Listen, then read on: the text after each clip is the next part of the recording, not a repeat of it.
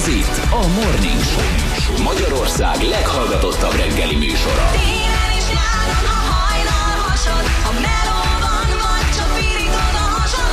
A mikrofonnál a hazai rádiózás legnagyobb sztárjai. Sebesség Balázs, Rákóczi Feri és Vadon Jani.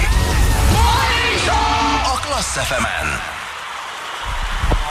6 óra, 12 perccel, jó reggelt, Zsül. Hello, Jani, jó reggelt. Sziasztok, jó reggelt! Gyerekek, olyan történt, ami ritkán történik, taknyos az orra. De jól mutass! Nem, Feri elaludt. Egy kicsit becsiszizott. Mit csinál? Beha, behajcsizott. Becsicsizett este, vagy be, becsúcsúzott reggel, nem tudjuk. Vagy tegnap este becsúcsúzott. vagy tegnap este csúcsúzott. De picit késik, de jön, szerintem már úton van, Így van. kapkod, rohan, és, és, Neki és nem szabad kapkodnia, meg rohannia, mert ahogy egy ilyen nagy test megindul lefelé azok, hogy nem állítjuk meg csak. Hallott ott semmi. Vigyázz, jövök! Jó, Úgyhogy, úgyhogy ön érkezik, de hát nekünk is necces volt az ideérés, igazából már ment a, az open air dalunk, amikor beestünk a stúdióba. Hogyha valaki esetleg látja a felét a forgalomban, azért mondjuk, hogy ha látja, Álljon elé. akkor, akkor ne, ne integesen át, hogy ne siessen, jöjjön nyugodtan, semmi, semmi pánik, semmi tempó. Hogy hallana már az alfában nincsen rádió? Ja, mondjuk az is igaz, hogy az is igaz, az igen. régebben volt benne egy szokol, két ilyen, hogy hívják, ilyen periót száraz lapos elemmel, de azt hiszem, hogy most nem kapott, és akkor nem cserélte ki. Igen, nem volt kellene mindig elemet cserélni. Na, mi, akkor viszont integessetek át neki, Így róla hogy beszéltük, hogy ne rohanjon. Én Nyugi, is, nyugi, nyugi. én is volt, hogy elaludtam, mert semmi nincs igazából, bár tényleg ilyenkor mindig Jó, meg a kell, dicsérjem kézjelzésekre nagyon vigyázzatok, mert ha azt mutatjátok neki, hogy, hogy így lefelé a tenyeretekkel, akkor lehet, hogy azt hiszi, hogy leeresztettek a gumit. És megáll egy kúton. De hát, hát igen, tekerjétek le a ablakot, és akkor kiabáljátok, hát Feri ne siess. Igen. Minden, minden oké. Okay. Figyeljetek, srácok, a, ti nagyon szoktatok örülni neki, hogyha frissít a számítógépet? Én nem tudom, hogy mi történik ezzel a, a, a, a Windows-zal, ami a, a számítógépemen, de ez tegnap óta frissít. Ne kapcsolja ki, és ne húzza ki a számítógépet, 21 frissítés telepítése, és ebből már 19 össze is jött tegnap 10 óra óta, amikor ezt... Még így- kettő van. Aha, még kettő van. Nem lehet leállítani, vagy nem Aha, tudom leállítani? mit, egyébként mit frissít rajta? Tehát, hogy a világtörténelmi eposzokat, vagy... Aha, jó A van. Windows-t. Jó. Aha. Na, akkor ezt most kikapcsolom, jó? Ja, vessél, vessél neki. Aha, még, nincs rajta semmi olyan dokumentum, amit én még raktam volna rá, úgyhogy hát ez van. Gyerekek, hogy utálom ezt az esőt, komolyan mondom, hát milyen szép idő volt itt hétfő kedden, meg úgy éreztük, hogy végre újra van remény, meg mit tudom én, nem tudom. Erre van, ahol hó esik, van, ahol havas eső esik itt Pesten. Eső esik, hát mi, miféle ótvar időjárás ez, nem? Hát ezt kikérem De azért magamnak már ma is dél, majd délután is feküdjél ki. De napozni? Aha. Hát jó, Ná- nálunk most is üt a nap. Persze, nyilván. Nem, tényleg, nem, nem mond, tudtam, hogy lesz valami hidegbetörés, vagy micsoda, de De azt mondjuk, hogy hétvégére megint jó idő lesz. Na, úgyhogy- tényleg? Á, persze, ez ilyen, ilyen semmiség. nem elutazom én Ne. úgyhogy... Igen? Mm. Remélem, ott esni fog. Ja, de bocs, ez csak kicsúsz. Hát én egyébként már nem meg- megnézem, hogy milyen idő lesz. Azt mondja, hogy ja, na, mi, na, mi, na, na, na, álljál, mi. Elmű főgáz. Na, mi, hó, hó, há, hó. Uh, igen, már vasárnap jön vissza a jó idő, és jövő már 17 fok, a kutya fájás Ez neki. nagyon hát. jó lesz, még a végén jó lesz a március 15-i időjárás. Én Igen, nem kell átülni, nem kell Aha. átülni új autóban. Március 15, most sajnos vasárnapra esik, bár ezt gondolom már mindenki kiszámoltam. Úgyhogy nem tudunk, nem tudunk pihenni, nem, ez hülyé jön ki ez most valahogy. Egy nem, futóversenyen leszek egyébként. Március 10 10 alkalommal rendezik a Lőrinci futóversenyt. Hát srácok, lokálpatriota A- a... ott a helyem. a Lőrinci A futóverseny? Lőrinci, így van. Tehát ez hasonló, mint a New Yorki maraton és a Lőrinci futóverseny? Ugyan, ugyan, ugyanakkor a média esemény is? Ah, igen. És mennyit futtok? Egy nyolcaskát. De lesznek különböző távok. Most ide kimegyek, Tudom. pókjárásba lesétálom a nyolcat. Hát most hát minek elindulni nyolcra? Hát, Hát, ördögszekérbe legurulom, ha megfogom a bokádat. Ne, ha inkább a zsűlét fog már meg, hogy nehezítés. Zsül, leguruljuk ördögszekér, ezt Egy ördögszekérbe leguruljuk. Pókjárásba, rákjárásba végigmegyek. Figyelj, gyere el, ugorjál át. Elutazom hétvégén, ahogy is az előbb De hát mit, de nem tudom, hogy hol utazol. Hát utaz az Lőrinc. Kicsit messzebbre megyek most, úgyhogy nem, nem tudok ott lenni. Meg, tudod, nekem ez a futás, ez valahogy nem okoz örömet, úgyhogy tegnap két és fél órát játszottam, sportoltam, futottam a teniszpályán, mint az atom, de csak ilyen monotonon fussak, az nem, az nem nagyon. Győzelem vagy vereség? Kikaptam tegnap. Fú, egy életem legszörnyűbb veresége. Lehet mondani, hogy kitől? Á, nem akarom őt Nem. nagyját tenni. Ja, jó. Nem akarom nagyját tenni, figyelj, ne, de, á, nem, most, ha értenél a szabályokhoz, elmondanám, hogy hogy álltam, de ha valaki ért a teniszhez, 6 1 vezettem a második szedben a rövidítésben. Az igen. Ami azt jelenti, hogy rövidítés, tehát az esélyem lett volna kiharcolni a harmadik szettet. Mert hogy 6-6 rövidítés, 6-1 ide, és Mhm. 6-1-ről kikaptam. És azt hittem, hogy elsírom magam. Úgyhogy ö, tegnap szörnyű. De figyelj, akkor nem volt rossz, vagy te voltál indisponált? Nem, nem volt jó, egyáltalán nem volt jó, én voltam rossz. Persze, hát mondom, hogy ne tegyük nagyra. Bocsánat. Nem gondolod, hogy jó volt. Nem, tegnap nagyon indisponált. Indisponált voltam, lementem, arcoskodtam. 8-10-szer vertem most már meg egymás Hányszor után próbáltad meg hátalálva visszaadni a labdát a lábad közt? 8-szor 10-szer megvertem őt, és, és azt hittem tegnap, hogy ez, ez, ez most megint egy ilyen sétagalop lesz. Ja, és 5 1 vezettem az első szedbe. Na, Na, akkor kezdtem el kicsit mondják azt, hogy na, innen művészet Na és veszíteni. in, innen művészet, innen művészet veszíteni, igen, úgyhogy eh, három órát sikerült, három óra alatt sikerült hazajutnom, és három óra alatt végigbosszankodtam az utat. De hogy lehetek ekkora barom. az ütővel. Tessék? Hátba dobtad az ütővel, vagy vízes Nem, ő azt mondta, hogy elmegy öltözni, lezvonyozni, mondja, kiszúrtam a kerekét, úgyhogy volt némi elég, volt némi elég tétel, illetve egy 8-as, 8-as kulcsa meghúztam végig az autóját. Ah, igen, szóval tegnap nem, ebből a szempontból nem volt jó, de sportértékileg nagyon. Jó. Igen, nagyon jó volt. Ebből a szempontból egyébként nekem is jó volt nagyon a tegnap este. Na mi volt? Hát semmi. Ja, akkor az jó volt. Ja nem, hát én is sportoltam, úgyhogy jól esett nagyon. Végre eltűnt egy kis húzódás volt a combomban, nyilván ez nagyon sokakat érdekel, engem leginkább, de hál' Istennek eltűnedezett. Sajnos oda kell már figyelem nagyon ezekre a dolgokra, mert, mert basszus azért tényleg öregszünk. De Nekem ez az ördögszekes dolog mondjuk sosem ment. de- Ördögszekere a legjobb, úgy, Volt, úgy. igen, igen, a combhajlítomban volt egy ilyen nagyon makacs húzódás, már így eh, miért nem nagyon tudtam futni az utóbbi hetekben annyit, amennyit szerettem volna futni, és most tegnap már kezdett így összeállni a dolog. Szerintem mondjuk ez a meleggel is kapcsolatos, mert érdekes egyébként, hogy Afrikában, amikor kim voltunk, gyakorlatilag semmi bajom nem volt. Az összes izületem rendben volt, eh, semmi húzódás, semmi ficam, semmi nyíltörés. Érted? És, Azt eh, mondjuk jó. Hát igen. És ott semmi bajom nem volt. Valószínűleg egyébként az állandó meleg, meleg miatt.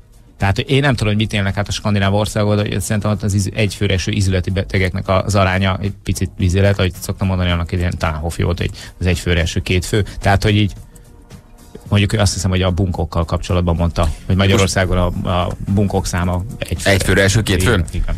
Figyelj, frissít az én gépem is, hallod? Uh-huh. Azt mondja, hogy a Flash dolgozik, illetve nem válaszol. Megállíthatja most a bővítményt, vagy DJ folytatja, ha hátra befejezi a működését. Aha. Anyád.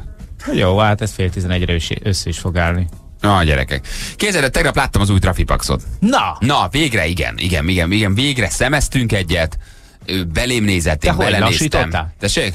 Nem, hát csak az annyit láttam, hogy fölborul mellettem, hogy elmegyek vele. Nem, ugye, ahogy, ahogy elsodortad. hogy elsodortam, a rendőr félreugrott, a trafi felborult. Nem, a másik oldalon mértek, és a Viki szólt, együtt mentünk valahova, hogy nézd, ott van. És uh, átnéztem, és ott volt. Figyelj, megismered, mert ez, ez egy IT fejű doboz. Uh-huh. Tehát, hogy iszonyatosan nagy, hatalmas két nagy szeme van elől. Ez egész úgy néz ki tényleg, mint egy ilyen dobozfejű IT, és szott nagy. Tehát, hogy írtatlan. Iszony, semmi közel a régi trafipaxokhoz. Hm. Tehát, hogyha ezt látod, akkor tudod, hogy veszélyben vagy, mert akkor biztonsági index, sávváltás, mit tudom én. Um, úgyhogy tegnap, tegnap, tegnap láttam. De ez még mi, miért ilyen nagyok ezek? nem tudom, hogy miért ilyen nagy, rohadt nagy, de tényleg De egyben nagy. elfogó, és vagy van benne egy ionágyú, meg egy presszó kávégép, vagy Hát gondolom nagy az agya, nem? És ahhoz kell sok minden, hogy így elférjen bennem. nagy az Ja. agya. Nagy az agya. Ja. Aha, ez mondjuk érdekes, mondjuk ez a nagy agy már annyira nem, nem, nem annyira fontos, és láttam valamelyik nap, hogy az egyik ilyen ö, hogyha memóriakártyákat gyártó cég, majdnem kimondtam a nevét, készített egy kis ö, micro SD-t, ami 200 gigás. Új világcsúcs állítólag. Egy micro SD, még egyszer oda, 200 gigányi anyag fér rá. Tehát, hogy ez a nagy agy, hát kitől vették valami tudom. elfekvő készlet. Ne lehet, hogy fekszik bent, egy, Józsi bent, bent, A. Lomonoszov Egyetemnek a, izé, a pincébe találták, Megkeresték mindenki előbb a legkisebb rendőrt, és belefektették. És ott a gukkerozik, nem is nézik vagy Ricsit a majmot. Majd Ricsi a majom benne van a dobozon, és izé, egy gukkerral nézi, hogy ki van bekötve, ki nincs bekötve. De tényleg egyébként nagyon nagy. Örültem, hogy láttam, annyit beszéltünk róla, olyan volt, mint egy ilyen ismerős. tudod, hogy csak sos, mindig beszélünk róla, sose bukkan fel, vagy egy régi ismerős, de tegnap sikerült megnézni. Nagyon úgyhogy- jó, nagyon úgyhogy jó Viszont amit nekem tegnap este nem sikerült megnéznem, Na. Részben a, a, a spektrum miatt, mert hogy ott izgalmasabb műsorok voltak, hát ez a, az Éden Hotel. Mindenképpen szerettem volna arról beszélni, mert most a legutóbbi élményem az nagyon megrázó volt.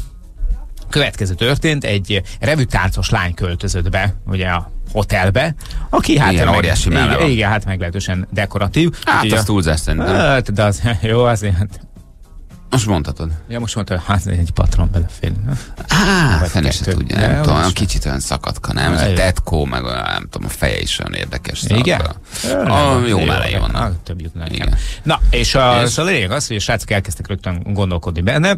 Nagyon, nagyon helyes kis jelenetre kapcsoltam oda.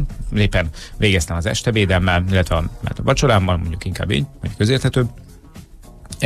Patrik, a labdarúgó srác ült középen, egy ilyen hatalmas, ilyen fonott, ilyen, ilyen hogy hívják, kicsit ilyen Emmanueles, ilyen ülő alkalmatosságon, két oldalt, két címbia, két ö, ö, személyi tréner, az egyikük portás és személyi tréner a felirat alapján, és akkor Azok a feliratok nagy olyan. portás és személyi tréner, és beszélgettek arról, hogy, hogy hogy kéne azt a lányt befűzni, és mennyire jól néz ki, ilyesmi. Patrik annyira elmerült ebben a bizonyos dologban, hogy én nem tudom, hogy ez nála egy reflexzerű dolog-e, de hogy elkezdte feltárni a kincseket, amiket az orrában talált.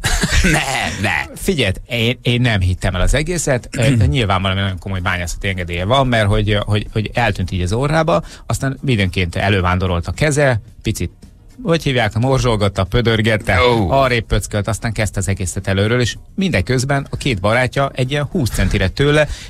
És te így vacsoráztál? Ma, igen. Ezt a részt nem láttam, én csak így. Zavartalanul tárgyalták ki a csajt, és dumálgattak, és egyiket se zavarta. Tehát három gyerek közül az, hogy Patrikot nem zavart, át, nála látszott, hogy ez egy ilyen rutinszerű tevékenység, de hogy a másik gyereket se zavart, hogy mi nem mondták neki, hogy oké, majd csak Patrik, jó, légy hagyd abba, mert mindjárt, hogy hívják, Igen, nem annyira, nem annyira jó. feljön a bolonyai. És a kísérő műsorát szoktad nézni Persze, az persze. Figyelj, Persze, én igazából azt szeretem. elkapom. Tehát én, én igazából azt szeretem. Tehát a, én az étent kevésbé, mert nekem a régi évadok jobban tetszettek, szerintem nincs igazán jól megcsinálva, sokszor nem hallott, hogy miről beszélek, nincs feliratozva, nincs sztori, ugyanazokat a köröket sütik el, mint régen, beküldik ezt, tudod, hogy az fog kijönni, tehát semmi újat nem tartalmaz, ugyanazon sémák alapján megy. Viszont az esti kísérő műsor, Ah.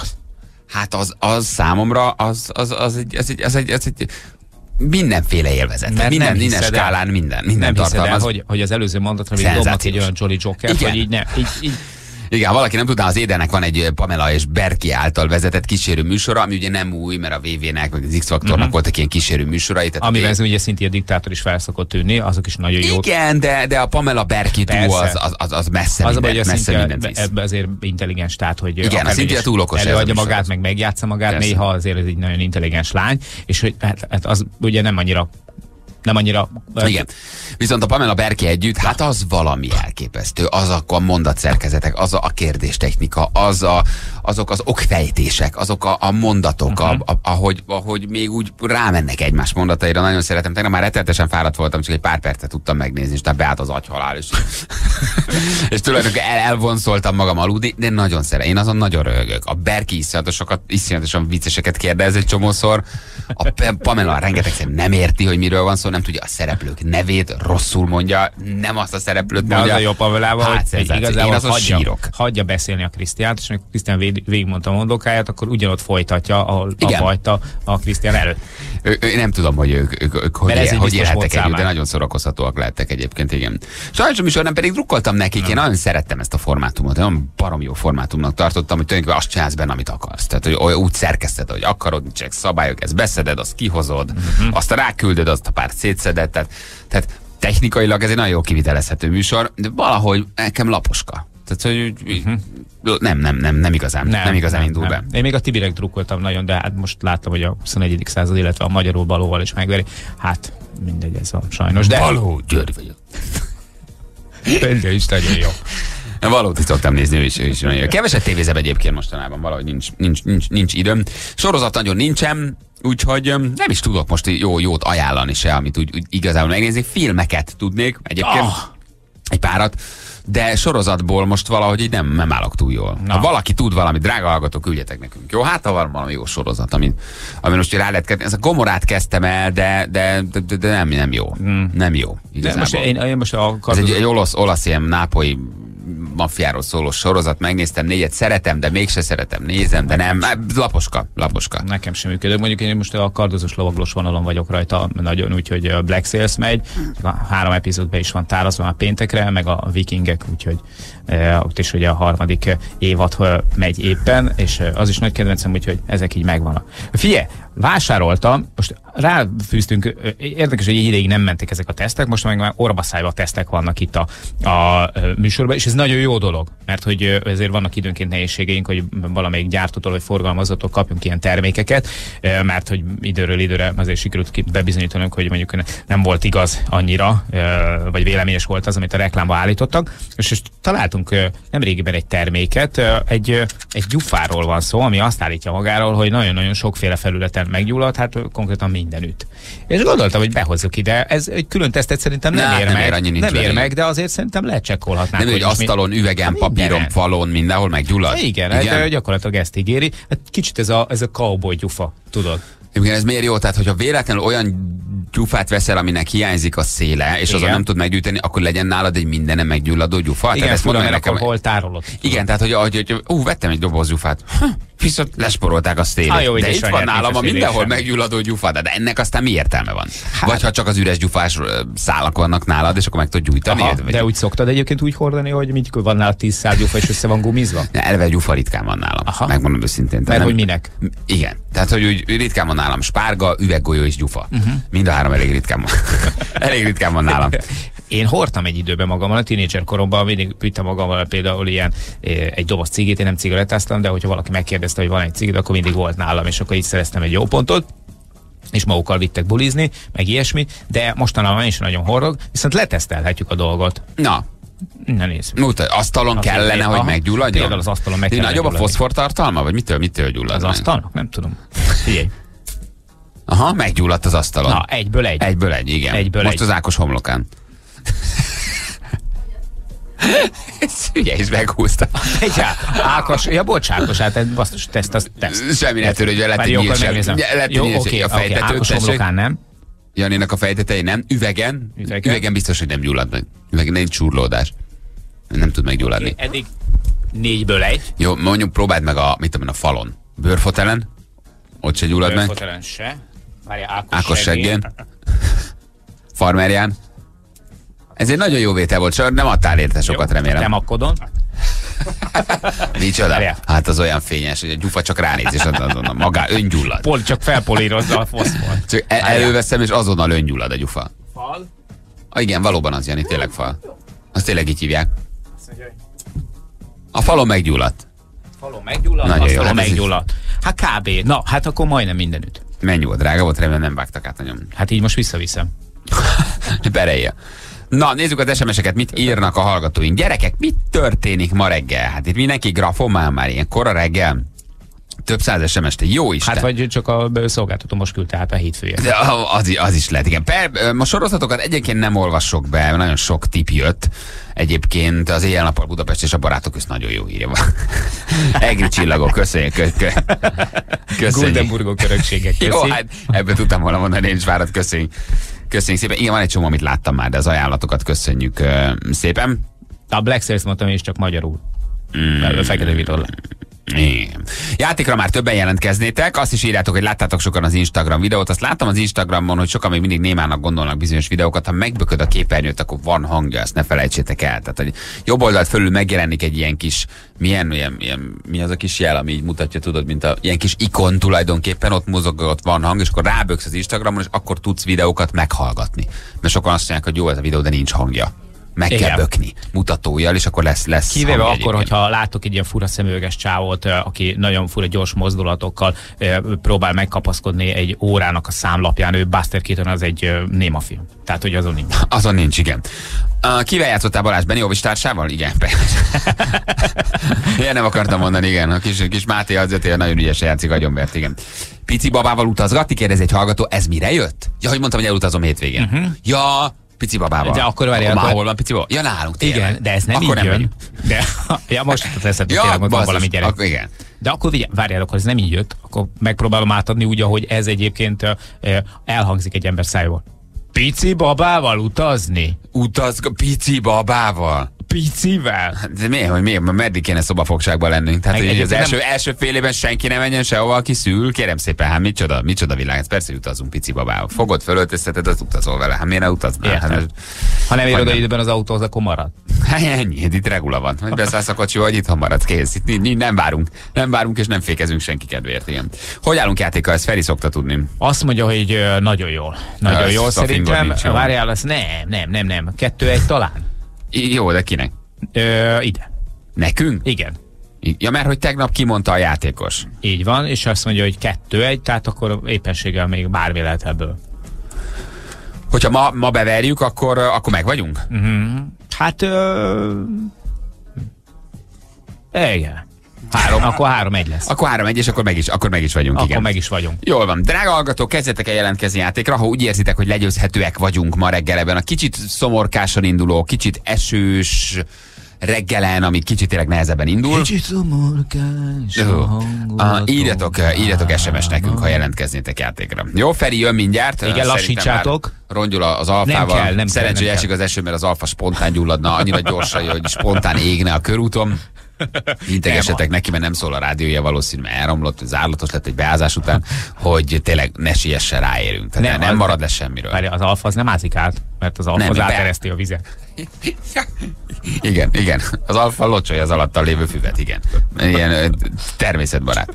Na, meghallgatjuk Ákos híreit, jó? Aztán jövünk a hírek után játékra lehet jelentkezni, fél hét múlt pontosan három perccel. 8 perc múlva pontosan 7 óra jó reggelt kívánok mindenkinek, ő bogi volt. Nem az a bogi, a másik bogi. Tehát nem a bugi bogi, hanem a bogi bogi. Aha. Aki, aki bogi, de nem előbb volt bogi, mert a másik bogi, aki most újabb bogi, de ő a régebbi bogi. Pont Egyébként. ezen agyaltam. Pont ezen agyaltam, de akkor nem. Nem. Illetve igen. Igen, de ja, nem. De. Igen, de Ja. igen. Vagy Igen, de mégsem, Akkor de igen, de nem. Akkor jó, akkor köszi. Úgyhogy játszunk egyet, már is itt van a játékosunk. A verhetetlen rádiós trió felkészült a harcra. Egy műsorvezető, négy tiltott szó. Fekete, fehér, igen, nem. Felkészültél? Jól gondold meg a választ. Ha, ha, ha, ha. Ja, Istenem, milyen szánalmasan hangzik így a nevet, és annyira hiányzik a felének az az öblös baritonja, ami még a forró leves Most itt van. Ja, itt van. Hello, jó reggel. Ja, semmi. Hello. Megszundítottál egy picit? Kérlek szépen, szerintem nem állítottam be este az órát, és magamtól ébredtem föl, illetve nem vagyok biztos, de az, hogyha mondjuk 5.40-kor elindulsz tőlünk, 10 perc alatt itt vagy. Ha 6 óra 20-kor, vagy 25-kor, akkor 40 percet jöttem. Nem, Ugye? hogy áll a város. Meg nálljon a szíved, mert Jaj, ja, picit futok, kivagy. Ne vagy, nyugi. ne vagy, nyugi, Mert innen a kocsitól a lépcsőig? Azon oda az legalább 10-12 méter, nehogy nem el, basszus, nehogy elájuljál itt nekem, mert Nyolc. hívok mentőt minden. 8 méter, és hát mondom, futok, futok, hát ha ideérek a feke. Anna, De hozzá lé- már valami cukrosat. A rohadt életben fektessétek le, tegyétek fel a lábát, futott 8 métert, a rohadt életben el ne vágódjál, mi lesz veled? És a három lépcső. Ja, szevasztok. Az iskoládat vigyázzál, ijesztő ez a liegés. A kutya mindenit. Na jó van. Bocs. Semmi baj, hmm. mert belefér gyerekek. Hát Ne viccelj. Régen én ennek nagy művelője voltam. De Igazából voltak, voltak hetek, amikor sorozatba elsütöttem ezt, ahhoz képest az elmúlt egy éve nem is tudom, hogy hogy csináltam. Na, meghallgatjuk a játékosunkat. Itt van már a másik van. Halló, jó reggel! Jó reggel, sziasztok! Hello, hogy hívnak? Gabi vagyok. Gabi, hello Gabi. Jó reggelt. Um, Gabi, kivel szeretné játszani? Ha lehet veled, Balázs. Nem, belevágunk, nem, nem, nem, nem viccelünk. Belevágunk. Gabi, honnan hívtál minket? Azt mond még el. nekünk. Budapestről telefonálok Cseperről. Budapestről, Cseperről. Ezt most miért mondtam így?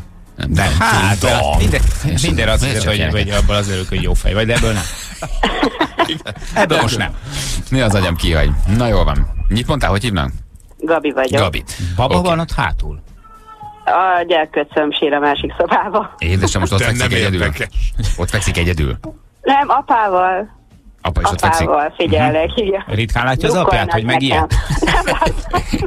Nem, nem, csak elvették tőle a telefonját. A gyereknek már van telefonja. Is. Nem, apáival játszik, és most apa Apáival játszik, úristen. Jézus, anyám, inkább a telefonról beszélgess. telefonjával. Jaj, a telefonjával, ja, jó, jó. Na, mehetünk, Jani. Hát, így.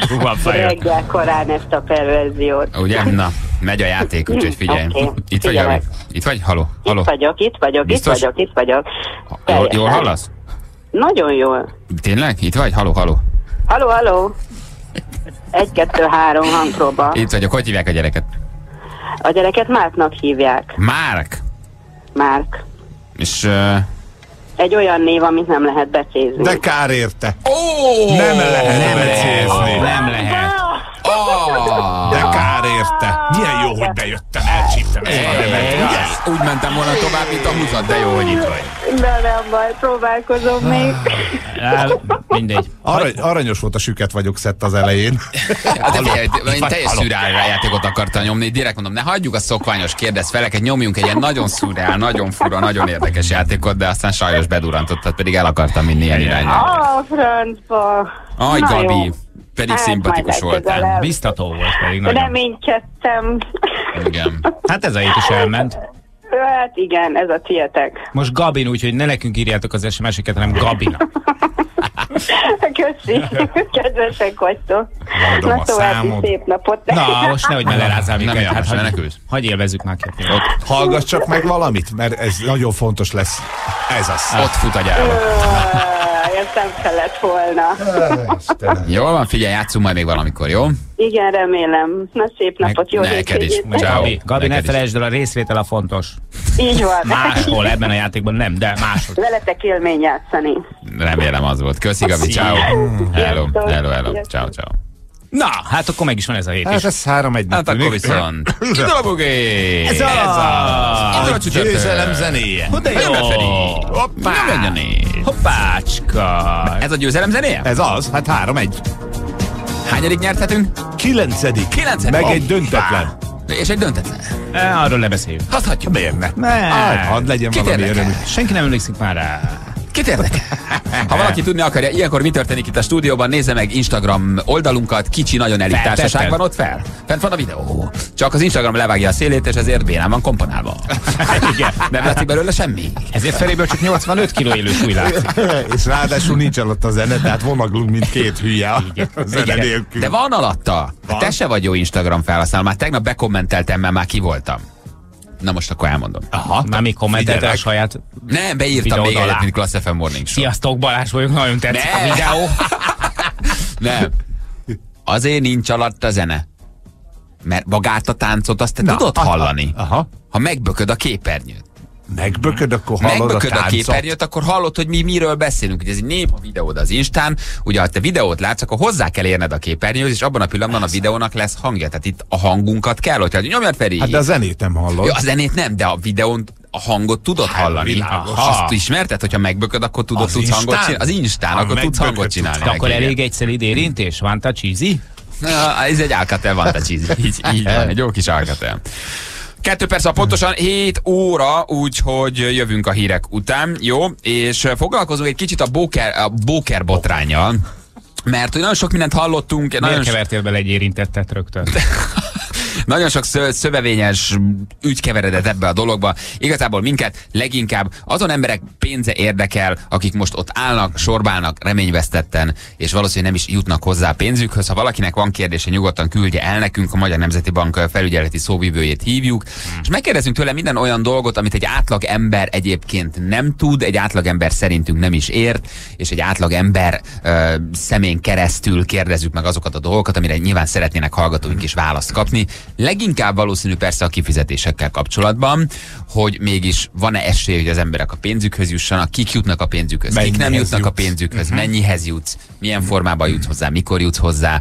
Úgyhogy ha ilyen téren valaki esetleg ne adj Isten érintett, hát szörnyű képsorokat látni, erről már tegnap beszéltünk, hogy állnak az Hihetetlen. emberek reményvesztetten, és hogy életmunkája veszik oda, hát ez egyszerűen felfoghatatlan tényleg megható képsorokat látni most már azért hetek óta, hogy reményvesztetten áldogálnak egy bezárt iroda előtt, nem? És várják, hogy hozzájuthassanak a, pénzükhöz, és mindenki papírral távozik, hogy ennyit van, most ezt leigazoltuk, majd valamikor.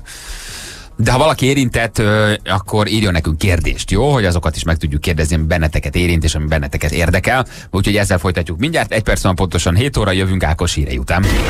És most, hölgyeim és uraim, öveket becsatolni, hangerőt feltekerni, folytatódik a show, amelyre az ország ébred.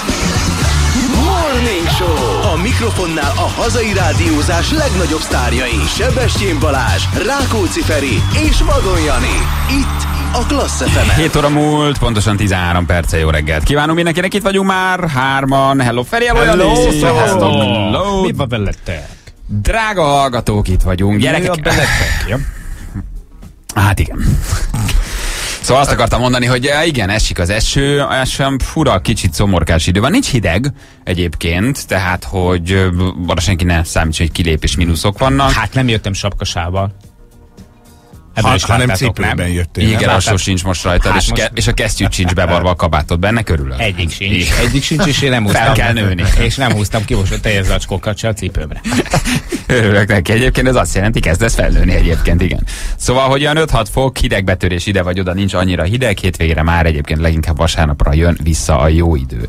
Farkas gyepinője 2-3 centi hó, készülni kell ö, az átszállásra a szomszéd autóba. 15-e jön. Csabi küldte nekünk, ugye két évvel ezelőtt, vagy három évvel ezelőtt volt, a, az mindenki szálljon át egy másik autóba. Ugye emlékeztek a nagy március 15-i hó, ami úgy vonul be, mint a 87-es A havazás. nagy autócsere. Én, A nagy csak úgy hívom, nagy hasznos tanács napja. Tehát ugye SMS. Megérkezett, most tudod, merre van előre. Hát már aki tudta értelmezni, mert én éppen egy szállodai szobában ültem, amikor megjött az SMS, és nem tudtam, hogy ne, egyszerűen nem értettem. Mondjuk az SMS az már, az már, az már jó volt szerintem. Tehát, hogy az, az már legalább Maga ke- mutatott valami szervezettséget. Az, az egész káosz, ami ott történt a, a, a, a hírekben, a, a tévékben, a rádiókban, hogy ki informált, ki nem informált, ki mondta, ki nem mondta. Hát az egész szörnyű volt, még úgy engedte föl az autópálya felügyelet, és mindenki az autópályákra az autókat, hogy már rég tudták, hogy dugóba szala. Uff, hát az valami szörnyű. Szörnyű volt. Hát azt meséltem, hogy egy barátunk nekünk ott állt két gyerekkel 24 órát az autópályán. Ah, ez- ez- ez arra és akkor most piros pacsizzunk, srácok, de apa már egy órája játszunk. amikor úgy, úgy, úgy ólomjába, lábakon járnak a percek, és 5 éves gyerekkel. Mit csinálsz? ez, ez mit csinálsz? Nagyon kemény volt, igen. Tízes út elesett Solymártól Budapest felé, ezt Gabesz küldte nekünk, köszönjük szépen. Már csak egy évet kell kibírnotok, és hus, így jöttök be a tízesem. Igen, hát reméljük, Aha. rajta tartjuk a, az építkezés ütőerjén a kezünket. A Hegyai úton az Erzsébet híd felé összeomlott most négy autó, ezt Szisza küldte nekünk. Köszönjük uh, szépen.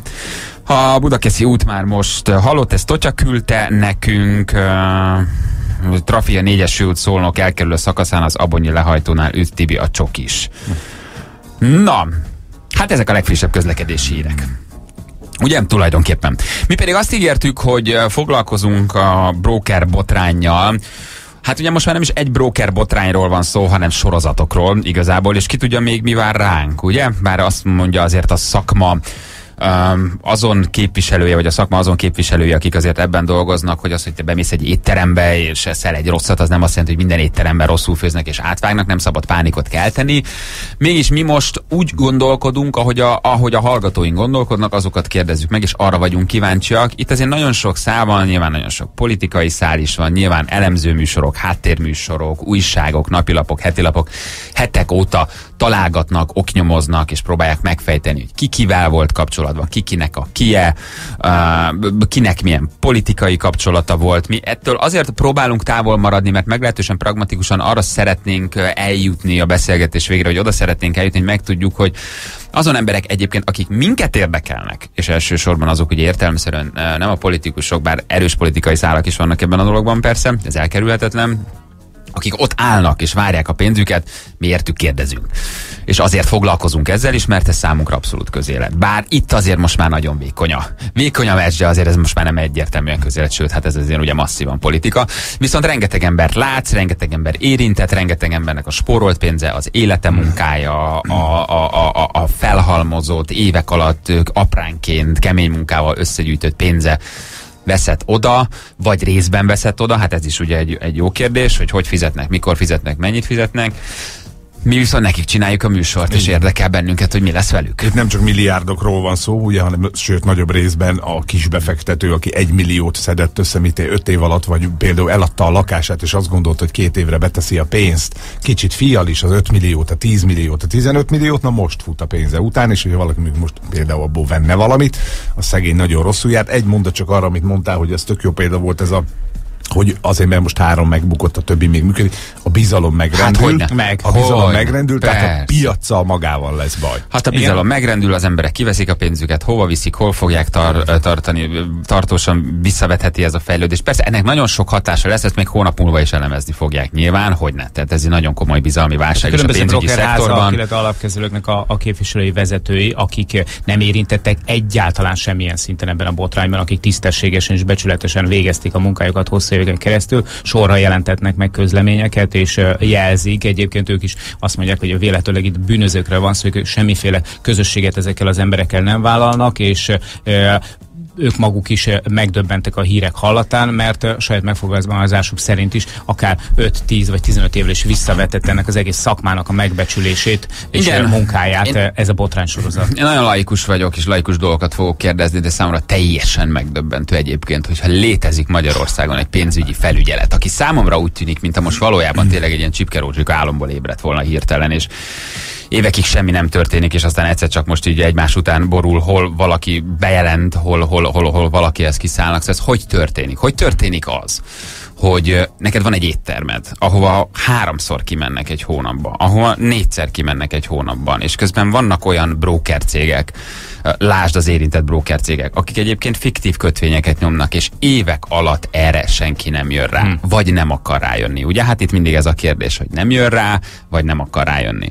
De hogy ez számomra megdöbbentő, hogy, hogy boltokat, éttermeket, a NAV látogat. Itt pedig egy olyan egy ellenőrzési rendszer van, ahol tulajdonképpen úgy néz ki, mintha az adóhatóság, hát így nagyjából nem tudom, revírzorok nélkül működne, nem? Hadd Te beküldöd az ellenőrzést, és sima írásos alap, bevallás alapján akkor eldöntik, hogy ez most jó vagy nem. Szóval ez, ez, ez megdöbbentő. Vagy kivizsgálják, jelzik a problémát, és nem történik semmi. De de- de- tényleg, tényleg, tényleg megdöbbentő, és nagyon sok a kérdés. Na de mindjárt kapunk egy kis segítséget, és ezeket meg is kérdezzük. A Magyar Nemzeti Bank felügyeleti szóvivője, Binder István itt van velünk. Jó reggelt kívánunk! Jó reggelt kívánok! Hát nem ezek a legkönnyebb napok, gondolom én mostanában, nem? Nektek? Azt gondolom, hogy elég keményen kell dolgoznunk, további broker cégeknél vizsgálódunk. Mi volnánk a legelégedettebbek, és azt gondolom az ügyfelek is, hogyha ezeket a további vizsgálatokat úgy zárhatnánk le, hogy nem kell intézkedéseket hoznunk. Ha viszont kell, akkor ezt azonnal a nyilvánosság elé tárjuk, azonnal nagyon kemény intézkedéseket teszünk. Tehát felügyeleti biztosok mennek oda, és zároljuk ezeket a intézményeket, illetve büntető feljelentéseket is teszünk. Ennek a következményeit a híradókban, a rádiókban lehet látni, meg hallgatni. Az, hogy azt mondod, hogy további broker cégeknél indítotok vizsgálatokat, az azt jelenti, hogy a botrányban érintetteknél már befejeztétek?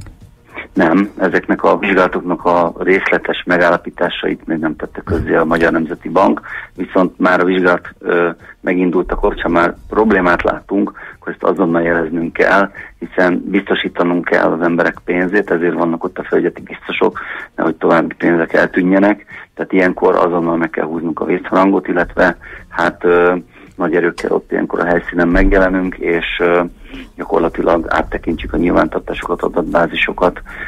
Az első gyanú, amikor beigazolódott, akkor biztosítjuk Na a helyszínt. és- 250-300 milliárd forint tűnt el körülbelül. A pontos összeget még mindig nem lehet tudni. Azt mondta, hogy meg kell húzni a vészharangot. Nem késő ez? Tehát nekem kicsit úgy tűnik, hogy a felügyelet felébredt egy ilyen hosszú csipkerózsika álomból. Az elmúlt négy-öt évben nem göngyölített fel semmit, nem jött rá semmire, most meg hirtelen egyébként kongatja a vészharangokat. Mit csinált a felügyelet az elmúlt öt évben például? Ugye pont fordítva van a dolog, a Magyar Nemzeti Bank ezt a felügyeleti, pénzügyi felügyeleti mandátumot alig 16 hónapja ö, kapta meg. Említetted ezt a példát, hogy a navosok mennyiszer mennek az étterembe. Mi először mentünk ki, ö, ugye az egész piacot végigfelügyeljük, de most legelőször mentünk ki a broker cégekhez, miután rendbe tettek a bankpiacot tavaly, egy szerződés módosításoknál, a különböző egyéb ö, hát, ö, devizahiteles elszámolásoknál, uh-huh. és már tavaly év során év végén bizonyos gyanús tranzakciókat Tehát megtörténik, egy, megtörténik egy olyan dolog, hogy egy cég 150 milliárd fiktív kötvényt nyom ki, és ti most először mentek ki. Nem, nem így történt egészen a dolog. A fiktív kötvényt kibocsátó intézmények, azok nem tartoznak a Magyar Nemzeti. Bank felügyeleti Ez a legnagyobb baj. Ez egy vállalati kötvény, amit egy vállalat bocsátott ki. Mi az értékpapírcéghez mentünk, és az értékpapírcégnél hoztunk intézkedéseket, mert azt felügyeljük, ott azonnal biztosítottuk, de az egésznek a eleje és a veleje az a budakeses történet volt. Ott is ezeknek az ügyeknek a felderítése folyik. Tehát azonnal kimentünk, ahogy mandátumot kaptunk erre, és azonnal föl is derítettük, és az egészet egyébként mi vizsgáltuk ki, tehát nem más, nem máshonnan jött az információ, vagy kipattant, ilyen hangok is vannak a sajtóban, a Magyar Nemzeti Bank tárta föl, aki most kapott erre jogosítványt. A felügyeleti rendszer lényege nem az lenne, hogy mondjuk megelőzze ezeket a csalásokat, és ne csak utólag jöjjön rá, hogy csalások történtek? Pont erről szól a dolog. Tehát a, amellett, hogy operatív lépéseket teszünk, most olyan szigorú törvénymódosító csomagot teszünk le a kormányasztalra, a parlament asztalra, ami például olyan elemeket tartalmaz, hogy ugyan már ne 20 millió forintos személyi bírságot kapjanak azok a vezető brókerek, akik esetleg milliárdokat tapsolnak el az emberek, kis emberek pénzéből, akik most ott állnak éppen a, a fiókok előtt, és várják a híreket, hanem több száz millió forint legyen, és ennek adott esetben egyéb következménye is. Igen, de legyenek. azt mondtad, hogy a fiktív vállalati kötvények az nem a ti asztalotok. Hát akkor az kinek az asztala? Ebben a pillanatban azt kell megnézni, hogy ezek a fiktív vállalati kötvények, ezek egyáltalán kötvénynek minősíthetőek-e. Vagy pedig, hogyha ez egy illegális kötvénykibocsátás volt, és esetleg ez a pénz ott van az értékpapír cégnél, és akkor ezt fogjuk föl másképpen, akkor elképzelhető, hogy erre viszont ö, mégiscsak vonatkozik a befektetővédelme. Na de hogy lehet az, hogy van a Questor, akik ugye tulajdonképpen hát nem ők bocsátották ki a kötvényt, hanem egy direkt erre a célra létrehozott hasonló nevű KFT által, ami önmagában már gyanús kellene, hogy legyen, hogy egyébként, ahogy látjuk, egy 12 millió forintos saját tőkével rendelkező apró cégecske több mint 50 milliárd forint értékű kötvényt bocsát ki. Hogy van az, hogy a felügyelet ezt nem veszi észre? Ha ti kiszálltok a Questorod, akkor hogy van az, hogy ezt nem látta senki? Két teljesen különböző cégről van szó. Van Ezt én- ezt én- ezt én értem, van ezzel tisztában vagyok. kötvénykibocsátó cége, amit nem felügyel a Magyar Nemzeti Bank, és a Questor értékpapír cég, aminek a kötvény forgalmazását, ö, tehát a, általában az értékpapír a forgalmazását azt felügyeli a Tehát ha ez A azt jelenti, hogy ha engem nem felügyelnek, akkor én kiadhatok 50 milliárd forint fiktív kötvény, mert ti ezt nem veszitek észre? nem, nem van Hát nem tartozom kötvény- én se a beva alá, akkor hogy van ez? kötvénykibocsátási tájékoztatónak tartalmi formai elemeit ö, nézi meg a felügyelet, de az, hogy egy vállalati kötvényt kivesz meg, ki nem vesz meg, azt azon az alapon lehet megnéznie, hogy ott az a kötvény kibocsátási Igen, csak itt nem a vevő tájékoztató, oldalon volt a probléma, hanem az eladó Igen. oldalon. Tehát ha én mondjuk egy évvel ezelőtt csinálok egy 12 millió forintos saját tőkével rendelkező apró cégecskét, és kiadok 50 milliárd forint értékű fiktív részvényt, akkor ti ezt nem veszitek észre? Nem a Magyar Nemzeti Bank felügyelje a vállalati kötvénykibocsátást. Akkor kicsoda? Ezt hát igazából nagyon Akkor kicsoda? meg- Hát a Magyar Nemzeti Bank az Ki vigyáz az emberek pénzére? A Magyar Akkor Nemzeti Bank az értékpapír. Akkor ezt kifelügyeli? Nem tudok olyan felügyeleti hatóságot nincs mondani, olyan felügyeleti hatóság, aki észrevesz egy olyan céget, ami 12 millió forintos saját tőkével rendelkezik, és kibocsát több mint 50 milliárd forint értékű fiktív kötvényt. Nincs De olyan cég egy- ma van egy Magyarországon. Van egy ilyen felügyeleti hatóság, úgy hívják, hogy Magyar Nemzeti Bank. Ő volt az, aki ezt észrevette és föltárta. Úgy, Hogy, hogy egy nem, másik- nem észrevettétek, a Questor egyébként öncsődöt jelentett. Nem, nem, nem így van, mi vettük észre. Ti vettétek a, észre. Azért jelentett a Questor öncsődöt, mert egy felügyeleti vizsgálat volt folyamatban, és a Magyar Nemzeti Bank észrevette és föltárta egy másik értékpapír cégnél, amit egyébként ténylegesen felügyel, hogy ennél a kötvénykibocsátó cégnél is baj van. De hogy Hát kell, történhetett mondjam, akkor ez meg? Hogy történhetett várjál, akkor ez meg? Egy picit várjál, észrevettük úgy, hogy nem volt nyomozati eszközünk egy értékpapír cégnél, hogy van egyébként egy általunk nem felügyelt kötvénykibocsátó, és ott eltapsolnak több milliárd forintot. Tehát úgy szúrtuk ki, hogy a forgalmazónál, akit egyébként felügyelünk, észrevettük. Tehát azt a munkát is elvégeztük, sőt egyébként a Budakesnél olyan munkát is elvégeztünk, ami nyomozó hatósági munkát jelent, és nyomozati eszközök nélkül. És ezt az egész ö, értékpapír botrányt a Magyar Nemzeti Bank tárta föl. Erről uh-huh. szól a sztori. Szerintem tehát egy picit fordítva ülünk abban van, amikor a felügyelet felügyelőség, felelősségéről beszélünk akkor, uh-huh. amikor föltárta ezt az egész történetet, a nyilvánosság elé hozta, úgyhogy alig 16 hónapja kapta meg ezt a felügyeleti mandátumot. Tehát ezt az egész sztorit a Magyar Nemzeti Bank hozta, és utána persze ezek az urak is, amikor gyanunk ott volt, akkor ö, egy idő után elkezdtek mesélni a történetekről, Értem. meg elkezdtek öncsődöt jelenteni, de fordítva volt a Értem. sztori. Hagy kérdezek még valamit. Ugye hallani olyan vizsgálatokról is, például Budakest, hogy 2010. szeptemberében volt egy felügyeleti határozat, mi szerint a Budakest informatikai rendszere nem felel meg a nyilvántartási rendszer, nem felel meg a követelményeknek, most pedig azt lehet mondani, hogy pontosan ezért következett be az ekkora baj. Na most hogy van Hát az, hogy látod, hogy- 2010-ben ezt már feltárták, utána Budapest még 5 évig vidáman szedte el az emberek pénzét, károsított meg embereket úgy, hogy senki nem akadályozta ezt meg. Ez hogy lehet? És, és azt láttad, hogy a határozat végén van valami bírság vagy intézkedés odaírva? De én azt nem láttam. Tehát magyarul persze, persze, ilyen kisebb dorgálások, meg ez az született az elmúlt években. Na, de ezt De- kérdezem, hogy ez hogy lehet, hogy Ja. 2010-ben megállapítják, és a cég még utána vidáman működik 5 évig. Ez hogy lehet, hogy ártatlan emberek úgy, hogy a- pénzét veszi el úgy, hogy Igen. 5 évig tulajdonképpen legálisan működik, miközben 2010-ben ezt egyébként már jelzik, hogy baj van, többfajta baj van a céggel, és hogy bizonyos kritériumoknak nem felel meg, am- amik fontos kritériumok, majd mégis működik 5 évig. Ez hogy lehet? 2010, nem, egyébként korábban is voltak határozatok, de az alapproblémát nem vették észre. Az alapproblémát a Magyar Nemzeti Bank vette észre 2010 Ez most nem válasz a kérdésre. Én azt kérdeztem, hogy hogy működhet még egy ilyen cég 5 évig, amikor egy felügyeleti határozat szerint 2010-ben már jelezték, hogy Nem, az nem, informatikai nem. rendszer Ezek- nem felel meg, a ilyen- nyilvántartási rendszer nem felel meg, majd a cég még működött 5 évig. Hogy lehet Nem, ez? de én meg azt kérdezem, légy szíves, hogy mondd meg, hogy annak a határozatnak a végén milyen bírságot vagy súlyos intézkedést látsz. Ezt Mert ha miért- nem látsz annak a határozatnak a végén súlyos intézkedés meg bírságot, akkor az akkora felügyeleti hatóság enyhe problémákat talált és enyhe problémákat látott. A Magyar Nemzeti Bank, aki pedig hár, pár hónappal ezelőtt megkapta a felügyeleti jogosítványokat, azonnal kiment és azonnal föltárta a problémát. Tehát azt mondod, a hogy Magyar ez a korábbi- Banknak a Magyar Nemzeti Banknak egy teljesen más felügyeleti módszertana és vizsgálati módszertana van, ami ezt az egész problémát felszíne hozta, ezért lehetett ezt most csirájában elfolytani és a gyökerét A megtalálni. csirájában elfolytani azért az erős túlzás, nem? Hogy csirájában elfolytani 300 milliárd forint eltűnt, ami kis emberek pénze leginkább. A Magyar Nemzeti Bank azt követően, hogy a Budakestnél föltárta ezt a történetet, azonnal kiment a többi brokercéghez, és ott megtalálta azonnal ezeket a problémákat, és megakadályozta, hogy ezek tovább Jó. Kérdezzünk egy nagyon, nagyon pragmatikus dolgokat. Hol van ez a pénz? Eltűnt 300 milliárd forint. Az ember, aki otthon ül, és eltűnt 5 milliója, 3 milliója, 10 milliója, ha 200 szeretné tudni, hogy hol van Az 200 ideges. forintja, hogy ne nyilván 10 ezer forintja, ha szeretné tudni, hogy hol van ez a pénz. Hol van ez a 300 milliárd forint? Ez az elmúlt másfél évtizedben tűnhetett el a Magyar Nemzeti Bank gyanúja szerint, különböző mm, korokon és különböző időszakokon átívelve. Ennek a nyomozó hatóság lehet a gazdája, aki ezt földerítés, megtalálja ezeket a pénzeket. Ha egyáltalán meg lehet találni ezeket, a gyanunk az, Tehát hogy korábbi, meg? korábbi lyukakat tömködhettek be valószínűleg az elmúlt években vagy évtizedekben. Gyakorlatilag úgy működött a rendszer, némely esetekben talán, bár nagyon óvatos tudok lenni ebben, mert hiszen itt gyanúkat fogalmazunk meg, büntetőjogi gyanúkat, hogy adott esetben e, korábbi lyukakat, korábbi e, ügyfelek e, pénztárcából, vagy hát értékpapír számlájáról hiányzó pénzeket tömögettek be az újabb befizetésekkel, és akkor ez piramis játék gyanúját is vetheti föl. Az, hogy megvan-e, vagy nincs meg, azt ugye nyomozati eszközökkel, vagy egyéb eszközökkel tudják. A rendszerből nem került ki a pénz, mindig visszakerült bele?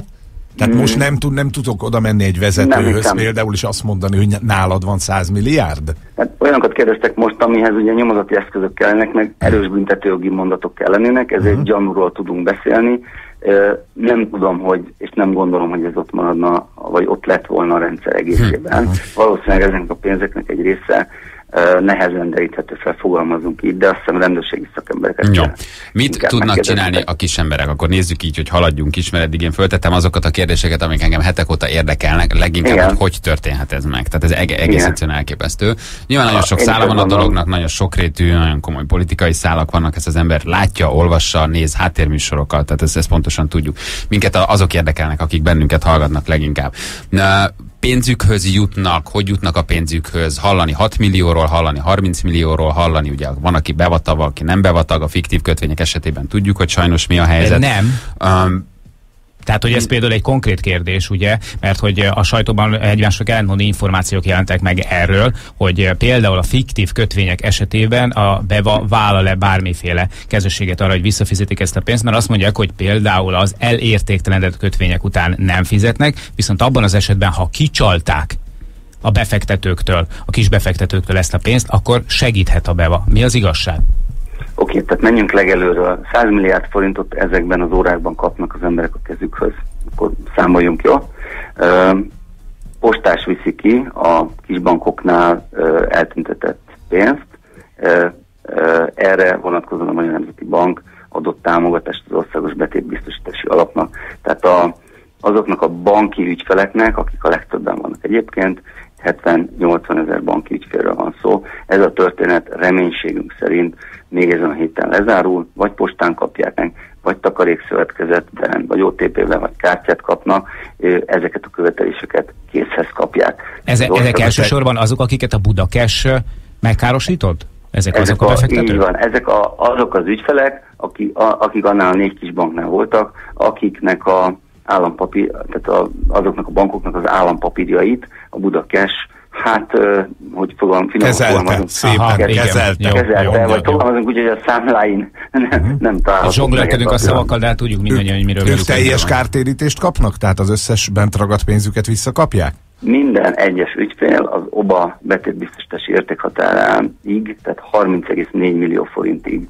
kap pénzt. Ez azt jelenti, hogy egy átlag ottani kisbank, hát itt vidéki volt takarékszövetkező ügyfelekről beszélünk, ezek azért néhány százezer forintos betétek voltak jellemzően egy lakosság ügyfele, mindenki készhez kapja a pénzét. Azt gondolom, van egy nagyon kicsi ügyfélkör, akiknek az esetében ez lehet magasabb. Az ő esetükben, és itt a generális mondat lesz minden broker cégnél egyébként ez a mondat, az ő esetükben pedig a felszámolás során a vagyonfelosztás mértékéig tudnak kapni. Ez az első kör. A második csapat az értékpapírcégek, közülük a Budakes esetében kezdeményezett már felszámolást a Magyar Nemzeti Bank. A többieknél ugye felfüggesztés van ebben a pillanatban, Hungáriánál, illetve a Questornál. Ahogy elindul a felszámolás, ott a befektető védelmi alap kártalanít, ennek a kártalanítási összeghatára az 20 ezer euró, tehát kb. 6 millió forint. El kell azon gondolkodni szerintem Magyarországon. Erre vonatkozóan is lehet, hogy törvénymódosított csomagot tesz be a Magyar Nemzeti Bank, illetve egy passzust, hogy a beva összeghatárát is célszerű lenne fölemelni, át kell ezt tekinteni. Mindenesetre 6 millió forintig azért egy átlagos kis befektető a pénzéhez fog jutni. És van a harmadik történet, amiről beszélt a Balázs az előbb, ez a bizonyos kötvényesek története, aminek nincs közvetlen felügyelete a Magyar Nemzeti Bank részére, és ezt pedzegettük, hogy de hát akkor ki. Itt is az emberek ügyét és az emberek számára megoldást keressük a Magyar Nemzeti Bank munkatársaival, és azt kell végig gondolni, erről is beszéltünk az előbb, hogy ezek most valóban kötvénynek minősülnek-e, vagy pedig, hogyha ezek kötvénynek látszó tárgyak voltak, fiktív kötvények, akkor annak ellenére, hogy ezeket ugye nem fegyelje a Magyar Nemzeti Bank, de ezek ott voltak az értékpapírcégnél esetleg pénzszámla forgalmá, formájában, akkor esetleg mégiscsak a DEVA kártanítása vonatkozhat valamilyen módon rájuk. Tehát azt gondolom, hogy nagyon sok embernek már most rendeződött az ügye, nagyon sok ember esetében pedig azon dolgozik a Magyar Nemzeti Bank, miközben párhuzamosan deríti fel az esetleges további ügyeket, reméljük nem lesznek, hogy ezek az emberek megkapják a kártérítésüket. Hát igen, jó, ez a legfontosabb, nyilván minket is ő érdekel, meg az, hogy sok, vagy illetve pontosabban kevés olyan céget találjátok, ami egy kockáz füzetben vezeti a fiktív dolgait egyébként, mert hogy ez is megdöbbentő, hogy ez hogy történhet meg egyébként. És hazaviszed a konyhafiókba. is. Igen, és, és vezeted a, a kettős könyvel. És nagyon szépen köszönjük, reméljük, hogy tudtunk azoknak segíteni. Minket tényleg leginkább azok érdekelnek, akik bennünket hallgatnak, bajban vannak, hogy ők mikor jutnak a pénzükhöz. Ezzel kapcsolatban sok fontos információt hallottuk. Köszönjük szépen, jó munkát nektek, sikeres felderítést. Jobb később, mint soha. Köszönjük szépen minden Istvánnak, a Magyar Nemzeti Bank felügyeleti szóvivőjének. Na, hát gyerekek, megtudtuk, hosszú-hosszú órákon keresztül lehetett volna még kérdésekkel bombázni Istvánt. Um, igen, hát szóval nehéz, nehéz itt, nehéz kibogozni. Nagyon sok szál van. Nagyon sok Türelmet szál van. kívánok mindenkinek egyébként, mert nem Hát lesz kitartás rövid. nekik, Nagy- nem? Így van. Igen. A, viszont igen, ebben az a megdöbbentő, hogy te bemész egy céghez, leraknak valamit elé, de arról nem tudod eldönteni, hogy az kötvény, az mi, az ilyen, az olyan, az kibocsátik, aláírod, megvetetik veled, hülyére vesznek, és, és hogy ez, ez, és, és ez meg, meg, megtörténhet még mindig. Szörnyű egyébként, de hát reméljük, hogy ahogy hallottuk, akkor Istvántól mindenki a pénzéhez jut. Ezt, ezt kívánjuk mindenkinek, mi ezzel tudtunk segíteni, remélhetőleg segíteni. Fél nyolc múlt pontosan 7 perccel, Uh, jövünk mindjárt Oven bácsival és uh, Berunénivel, Ákos hírei után. Morning Show. Klassz fm 3 8 múlt, pontosan egy perccel jó reggelt kívánunk uh, mindenkinek. Hát itt még nagyon sok kérdés, hozzászólás a, a broker botrányhoz, rengeteget lehetne még tényleg erről beszélni. Nagyon jó kérdések jönnek. Azt kérdezi egy hallgató, hogy oké, okay, hogy mindenkit kárpótolnak, rendben van, ennek örülünk, mert hogy ő is érintett éppen, aki írja. De hogy tulajdonképpen hol van még mindig az a két vagy 300 milliárd forint? magánvagyonnal felelnek, nem felelnek, hogy van az, miért nem veszik el ilyenkor azonnal tőlük ezt. Hát nyilván ennek azért ez nem ilyen egyszerű, hogy te csaltál, elveszük a magánvagyonodat, azért az pontos törvények mondják, hogy mit lehet és mit nem. Rengeteg kérdés, de igazából mi ennek tudtunk így ebben a formában utána járni, reméljük, hogy aki érintett, azt minél előbb kárpotolják a lehetőleg nagyobb százalékban. Fontos egyébként, hogy szóval mindig meg kell jegyezni, és nem szabad azt mondani, hogy az az ember, aki, aki, aki bement, az, az hibás, mert bőven nem így van, és nem is erre akarom kikerekíteni. De hogy egyszerűen meg kell tanulnia a magyar embernek azt, hogy nincs olyan, hogy magas hozam, magas kockázat Hát, nélkül. De az emberek elhiszik, amit látnak. Igen, de ez az, hogy olyan pénzügyi felelősséget kellene uh, tanítani már a gyerekeknek, és én ezért vagyok mérges arra, amikor olyan hülyességeket tanítatnak velük egyébként az iskolában éveken keresztül, amit kilépsz, és semmi értelme. És nem az életre készítenek, és ha már ez gyerekkorban, diákként te megtanulod a gimnáziumban, van egy óra, a szakközében van két óra hetente, ami tanít neked egy olyan uh, pénzügyi kultúrát, hogy ha te leülsz egy emberrel tárgyalni, és van neked 10 millió forintod, és azt mondja, hogy egy év alatt mindenféle kockázat nélkül csinálok neked belőle 14 millió forintot, akkor rájössz, hogy nincs ilyen, meg, meg 20 millió forintot még adok neked, mert nincs, nincs, egyszerűen nincs magas hozam kockázat nélkül. Nem? Hát Lehet, ezeket meg kell, összejön a meg kell, meg 14, kell tanulni. benne van Nincsenek sztárbefektetések, nincs az, hogy ezt ideadod a 10 milliót, és egy év múlva 20 kapsz vissza, nincs 100%-os hozam, akkor nagyon magas kockázat. Tehát ez, ez, ez, ez, ez át kell tudnia látni a magyar embernek, és ne, nehogy valaki ezt kifordítsa, félreértse.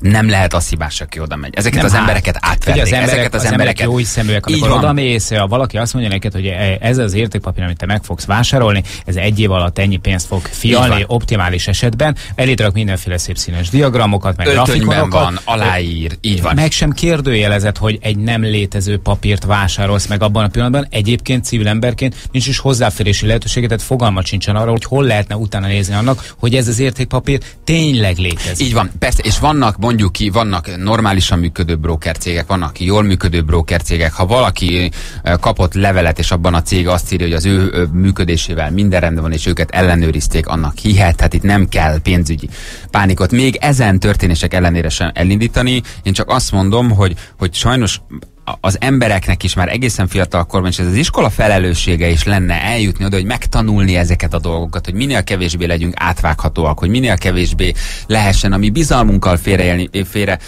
um, Visszaélni. visszaélni, igen, mert még mindig az van, hogy a magyar ember hiszékeny, a magyar ember nem ért a pénzügyéhez, a magyar ember nem tanulta azt meg, nem is tanították meg neki sajnos, pénzügyileg még mindig nagyon-nagyon analfabéták vagyunk, és sajnos jó hiszeműen megyünk oda, de ezáltal átvághatóak vagyunk, és nem az a hibás, akit átvágnak, mert sosem lehet az áldozat a hibás. Én csak azt mondom, hogy az iskola feladata lenne elkezdeni megtanítani, hogy mire kiérek 18 évesen alapvető dolgokkal. Olyan szinten vagyok tisztában, hogy leül velem egy ilyen nyakkendés 26 éves eselmerc is hülye gyerek, és Nem úgy sem. seggen én az egy millió forintommal a izét, és nem összetoljom magam az ő eselmerciétől, mivel valószínűleg egy, egy merci van, és járnak körbe-körbe, és egyébként a menzák ajánlnak kint 300 forintos húsleves, és eljátszák, hogy mekkora brókerek, érted? És azt mondom neki, adok neked két milliót, hogy adnál már vissza egy év múlva négy milliót, te nagyon hülye, kit nézel hülye, érted? Tehát, hogy Sajnos, sajnos nagyon-nagyon körbe kell járni ezeket a befektetéseket. Nagyon óvatosnak kell lenni a magyar embernek, és ez egy óriási tanulság. Én nagyon sajnálok mindenkit, akivel ez megtörtént, de józan észre kell dönteni. Muszáj egyszerűen, mert átvágnak bennünket, nyilván nem mindenki. Hát és nem mindenhol. a pénzügyi ismeretek, meg az igény kéne rá, hogy a kétség, amit most te mondasz, hogy a kétség meg legyen benne, hogy egy millióra nem lehet két milliót kapni egy év alatt. Nem. Nincs. Igen. Vagy úgy, hogy... És hogy milyen hát, de Jó, nagy hát buktával persze, lehet, persze, de úgy meg- lehet. Meg hát érdemes összehasonlítani ténylegesen a, a, a, a piacon lévő papíroknak a, a hozamát, azt, amit az egyik cég ígér, és a másik cég ígér. Hogyha óriási különbségeket látsz, akkor tényleg érdemes Szerintem- elgondolkodni azon, hogy vajon ugyanazon a piacon, ugyanabban az országban két különböző cég hogy tud Igen, de hogy- felajánlani több-több Igen. százalékkal különböző Igen, csak ezek, ezek is még nagyon kezdetleges lépések, hogy te összehasonlítod. Sokkal fontosabb, hogy vagyok-e jogi kapcsolatban, kivel vagyok jogi kapcsolatban, mi történik, Hol ha csődbe megy a, a cég, ki garantálja a pénzemet, mi történik, ha benneteket holnap felszámolnak, mi történik akkor, ha csődbe mentek, ki garantálja a pénzemet, uh-huh. hol garantáljátok a pénzemet, hogyan garantáljátok. Tehát van 5-6 kérdés, amit azonnal fel kell tudnod tenni, ha te ott ülsz és egy életed munkáját valaki kezébe te kiadod. Valakinek odaadod, nem? Hát ezeket kik a szabályozó szervek, mit csináltok, hogy csináljátok? Ki de figyel Te rá? is tudod, hogy az embereknek a része, mi sem így De gondolkodunk. muszáj, nem, nem, ilyen, ilyen rétegekben már nem megyünk le, főleg akkor, amikor tudod, hogyha mondjuk az, az, a, az a cég, ahol vásárolod te ezt a bizonyos papírt, mondjuk az ország egyik legjobban prosperáló, elviekben legjobban prosperáló cége, aminek a tulajdonos az ország egyik leggazdagabb embere. Érted? És, és azt gondolod, hogy akkor jó helyen lesz a Na pénzem. de, na de nem gondolhatod ezt. Hát ezt mondom, hogy helyen nem gondolod. Az ország pénz. leggazdagabb embere benne van ebbe a cégbe, akkor az én pénzem is jó helyem lesz. Hát pont, pont nem. Az tehát egyik. Pont, pont, nem szabad ezt gondolni, igen. Gyerekek, Wall Street farkassal ez megtörtént, nem? Uh-huh. Fiktív kötvények, rábeszél, megvesz, eljátszik, leesik. Végignéztük. Igen, csak Nem? ezen, ez. ezen most nem nevettünk akkorát. De mondom, ha fontos, én nagyon sok háttérműsort, elemzős műsort megnéztem, más broker cégek is megszólaltak, nem szabad azért általánosítani. Sokan vannak, igenis, tehát, sokan hogy- vannak, és vannak a piacon olyanok, akik korrekten működnek, vigyáznak a pénzetekre, megbízhatóak, és nem gazdagodni akarnak, hanem korrekt Ők is- céget ők is- üzemeltetnek. Ők is egyébként a nagyon károsultjai ennek az egész történet, mert az ő, ő hitelüket Hát is hogyne? rettenetes mértékben rombolták ezek a, ezek a mm, hát jó, nyilván vizsgálati szakaszban vannak ezek a dolgok, de ezek a, Hogyne? a vélhetően Igen, bűnözők. igen de, de, de fontos, hogy az ártatlan ember nem, nem, nem, nem hibás, csak a jövőben muszáj, muszáj előbb-utóbb tényleg, tényleg körültekintőbbnek lenni, sajnos, mert egyszerűen tényleg fel kell készülni ebben az országban mindenre. Játszunk, itt van a játékosunk, Óven bácsival és nénivel játszunk, már itt is van a játékosunk.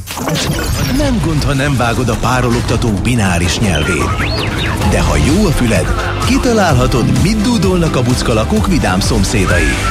Óven bácsi és Beru néni a párafarm csalogányai. Halló, jó reggel! Jó reggelt, sziasztok!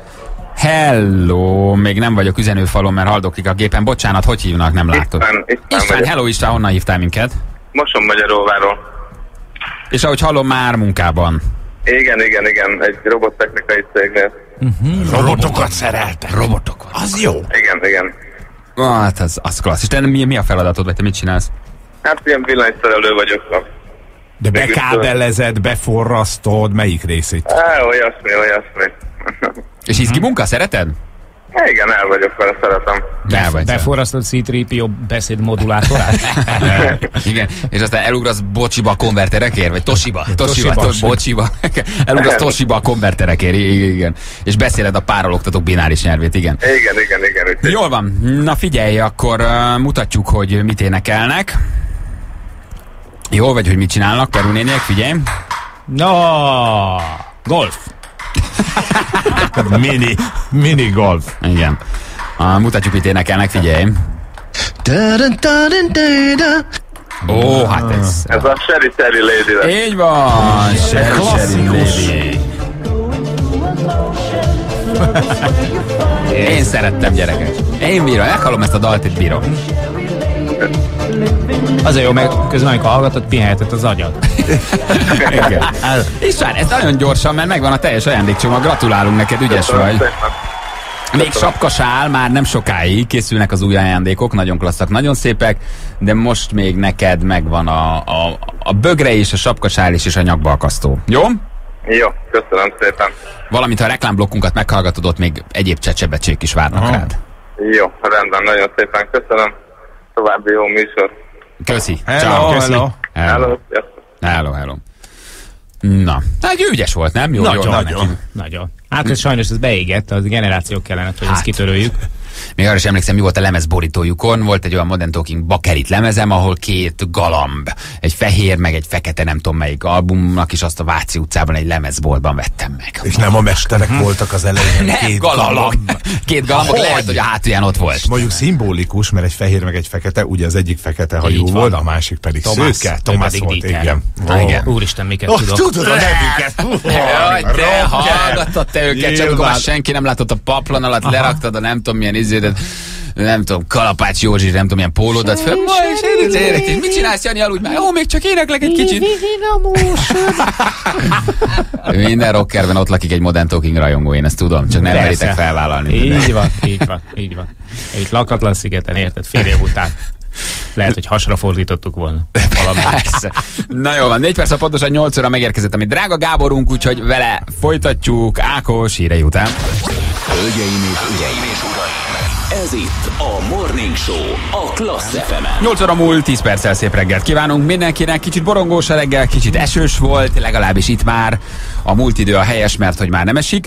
viszont sok helyen még látjuk néhány helyen havas eső gyereket. Á. Hát csak, hogy a március még megmutassa, hogy van benne egy kis lendület, van benne vitamin, ahogy az lenni szokott. Ugye régen volt már az, amikor március idusán mi kirohantunk, és ünnepeltük Petőfit egy szál pólóban, tolódnak az évszakok, ez inkább még tél, mint igazi tavasz, majd április közepe, április vége felé szokott megjönni az igazán jó idő. Bár nézegettem, nem most rosszban vagyunk az időjárással, hetek óta elhanyagolom, régen mindig időjárás vetésista voltam, de jövő hétre gyerekek egészen jó, 17-18 Sőt, már most szombat, vasárnap is igen, jó lesz. Igen, igen, igen. Ki lehet megint feküdni majd. Illetve csakolhatják akinek majd. Balázs fantasztikus testét a szomszédból az öreg lányok. igen. Na, Ah, nem fáztam kicsit gyerekek. Hatos út, melyik irányában van Trafipax? Köszi, kérdezi valaki. Ahogy látjuk, megkapjuk SMS-ben mondjuk. M3-as füzesabonyi lehajtónál sárga csekket oszt a Nemzeti Közlekedési Hatóság. Kamionos Feri küldte nekünk Hegyalja út Erzsébet híd előtt mindkét sáv lezárva. Négyes Koc, köszönjük szépen, M6-os dél, lézer nyalábmentes, erősen szeles és csapadékos, az alagutakban viszont kellemes az idő. Széna a WC papír árus küldte nekünk. Négyes főút ülői kereszteződésénél Budapest felüli kanyarodó sávban van egy koccanás, ez videós, Tibi küldte nekünk, mindenki figyeljen. öcsi sajtok. Mort Van. és óbarokat jelenleg havas eső áztatja. Hát nem tudom, hogy sírjak, örüljek -e?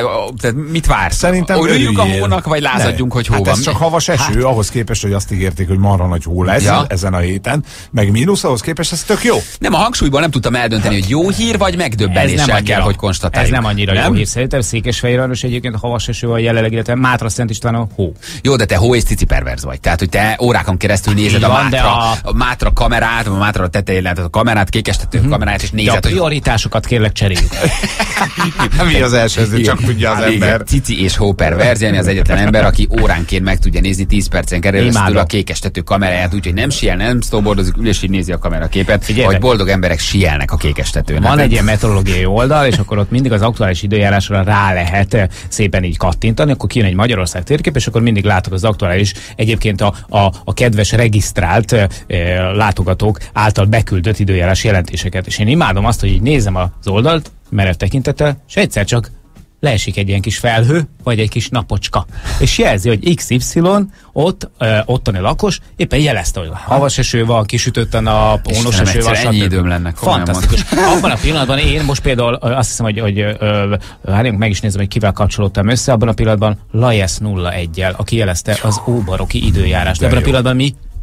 Lehet Nincs egy kis lehetünk. eladó időd, de tényleg, veszek tőled két órát. Milyen jó lenne, az ember tudná értékesíteni a saját idét. És azt mondja, hogy sok időm van, nekem elég 22 óra a napból, legyen előbb vége a napnak, unatkozom, egyedül vagyok, sok időm van.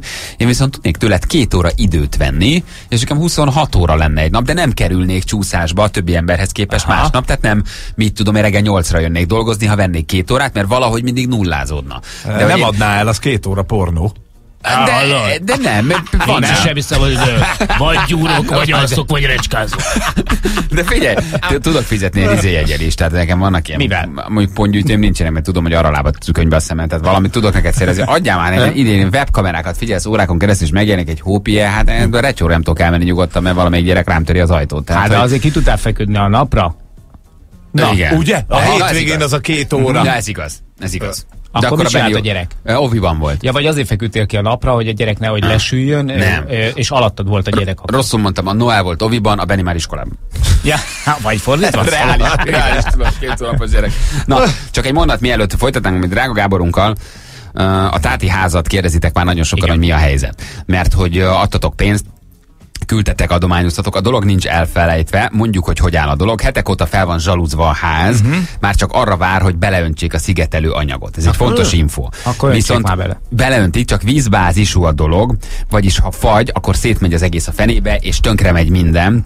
és kell nekik egy négy-öt nap totálisan fagymentes idő, hogy ezt meg tudják csinálni. Messze van, külterület, tehát erősen fagyok vannak. Ahogy lesz, azonnal megcsinálják, nem lustálkodnak, épül a dolog, szépül, és jön a jó idő, akkor bele tudják önteni eh, a szigetelő anyagot. Jó, nem akarnak kockáztatni, mi se akarunk kockáztatni, de csinálják, építik, átmegyünk, átadjuk, és, és, és látni fogjátok, hogy mire adtatok kevesebbet, többet, ezret, tízezret, százezret, ki mennyit adott, tehát áll a dolog, még egy pici időt kérünk, hogy jobb idő legyen. Hogy éjszakai fagy tönkre teszi az egészet? Ö, Ezek szerint? igen, igen, Aha. igen, igen, vízbázisú a dolog, amit belöntenek, hát tudod, sok mindenhez nem értek az egyik az építőanyag. a- Ne, ne, ipar- ne, szerintem jól jöttél ki ebből a vízbázisú Valamilyen ilyen, ilyen nem tudom, szigetelő anyagot öntenek bele, és az vízbázisú. Hát, Hát úgy látszik, ezt a könnyű szerkezetes házat nem lehet bármilyen hőszigeteléssel ellátni, és az a hőszigetelő anyag, ami ehhez kell, az vízbázisú, de most az elkövetkezendő hetekben, az elkövetkezendő hetekben pluszokat mondanak.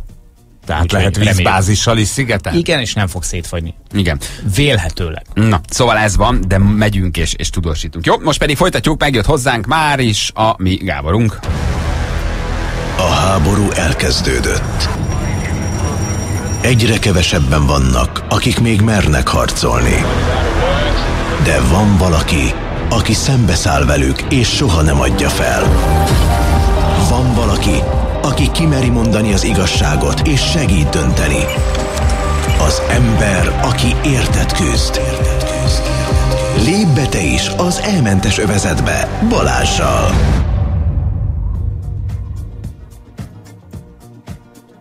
Nem tűntünk ám el. Csak Itt nem vagyunk. mertünk belépni. Itt voltunk, Itt vagyunk. Csak történik itt a csak dolgok. utána volt egy kis hatásszünet még. Gábor, hello, Szia, jó Gábor. reggel. Jó reggelt! Hogy vagy Gábor ma reggel? Köszönöm szépen, jól. Minden oké? Alakulnak itt a, a programok. Nem tudom, beszéltél le már róla, hogy itt mi lesz ma este? Nem, még egy szót se szóltam Na. erről. Félelmetes Itt dolgok. mi lesz? Fergeteges. Fergeteges. Szani Roland. Fergeteges house bully Gáborral. Közös programotok Fellépő a lesz? Cosmix és, és Tóth Gábor. Gábor is kifekszik melléd, vagy? Együtt fekszetek. E, ma lesz a Debrecen? Ma lesz Debrecen. Igen, egy életmód és táplálkozás tudományi program lesz Balázsjal együtt. Aha. Úgyhogy ő, ő is Én csak elmegyek, felhájpolom. Nem, nem, nem, azért. Felhájpolom. És most Balázs sokat. Balázs, és kapcsolják a füstgépet. van. Üssék össze a tegyenüket. Ez ami nem lesz.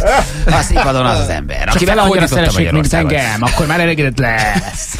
Ez egy, ez egy nyugodt, csendes, békés szakmai program lesz. Tábort mondtál? Ez egy előadás. előadás. Csak egy előadás, azt hittem, hogy megint kis Maga, tábor. Ha nyugodt, csendes szakmai, akkor ugye jön a kérdés, mi a fenét csinálok én Ugye? ott? Ugye? Tehát egyik jelző se igazán. Nyugodt, csendes szakmai. Ugye? Hát ennek a, pont az ellenkezője vagyok. Uh, hánykor kezdődik, és melyik város? A készülés, ez beszélt. Este hétkor Debrecen. Tudod, tudja, hogy A Lovardában lesz. Tudod, Gábor így lesépett, meg akartam csinálni egy fiatkor hogy ma van, Gábor, elébredtem, hogy mikor kell menni, hova, holnap, tudod? Jó, itt vagyok. Balázs, csak egyet, csak egyet kérek, hogy a Lovardában lesz, ez egy konferencia központ, Lovarda. tehát nehogy a, lov, nehogy a lóversenypályára menjél, vagy valami ló- lóvére, vagy nem tudom. Tehát, hogy ez egy konferencia központ. Megjátszhatok ott valami tétre helyre befutóra, valamit azért meg lehet ott kis Nem, ez, ez csak a neve. kaszinó, semmi? Ott leszek, ott leszek. Nem az egyetem területén van ez a lovar? De úgy tudom. Abszolút ott vagyok. 3 4 8 Miskolc. Ott vagyok. Gyerekek, lehet rám számítani, tudjátok. Vagy, ja, hogy Nem, 7 óra Debrecen. 7 óra, 7 óra Debrecen. És készültem egyébként két témából most. Na de várja, várja, várja. Na de, na de, na de, na de. Figyelj, ha most egy erre az előadásra elmegy a Balázs, akkor később, ugye egy életmódtáborotokba is el fog menni. Mert el kell az is menni, lehet. szerintem ez egy hosszú Persze. közös út kezdete. Én már És nagyon várom, jó, hogy minden ott az hajnalban- erdőbe, mint a mókus, Nem, a ott az van, ott az lesz az én szerepem, hogy minden hajnalban 6 órakor ébreztem az ott lakókat seggfúvolával. Így van. Jaj, ne. Szerintem mindig szint Gábor élet volt táborába. Fuvolán, Sebestyén Balázs. Mutatod? Igen. És most a Radenszki marsol. Tényleg, lemegyek Egyébként majd egy ilyen csütörtök délelőttönként reggelenként, mint látjátok, Balázsral szoktunk együtt lenni egy 5-10 percet kint a A bostóba.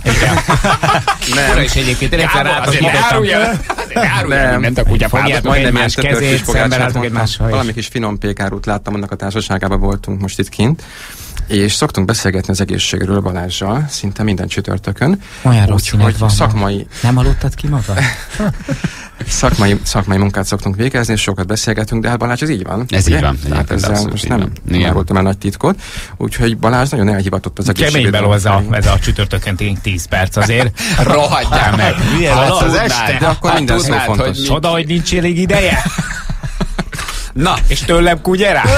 Gábor, mielőtt belemennénk abba, amivel te készültél, ha már itt vagy, megragadnám az alkalmat, hogy kérdezek tőled valamit, amit én szedek, és amiben én hiszek, de kíváncsi vagyok a te véleményedre, még nem kérdeztem meg, és ö, tengernyi az irodalma, hogy uh-huh. ilyen szépen fogalmazzak, ez pedig ö, ezüst kolloid. És ö, ugye ez nem egy konkrét termék, egy konkrét gyártója, tehát azért lehet róla beszélni, hogy 600 féleképpen csinálják, 600 helyen, 600 gyártó, tehát nem csinálunk egy gyártónak reklámot.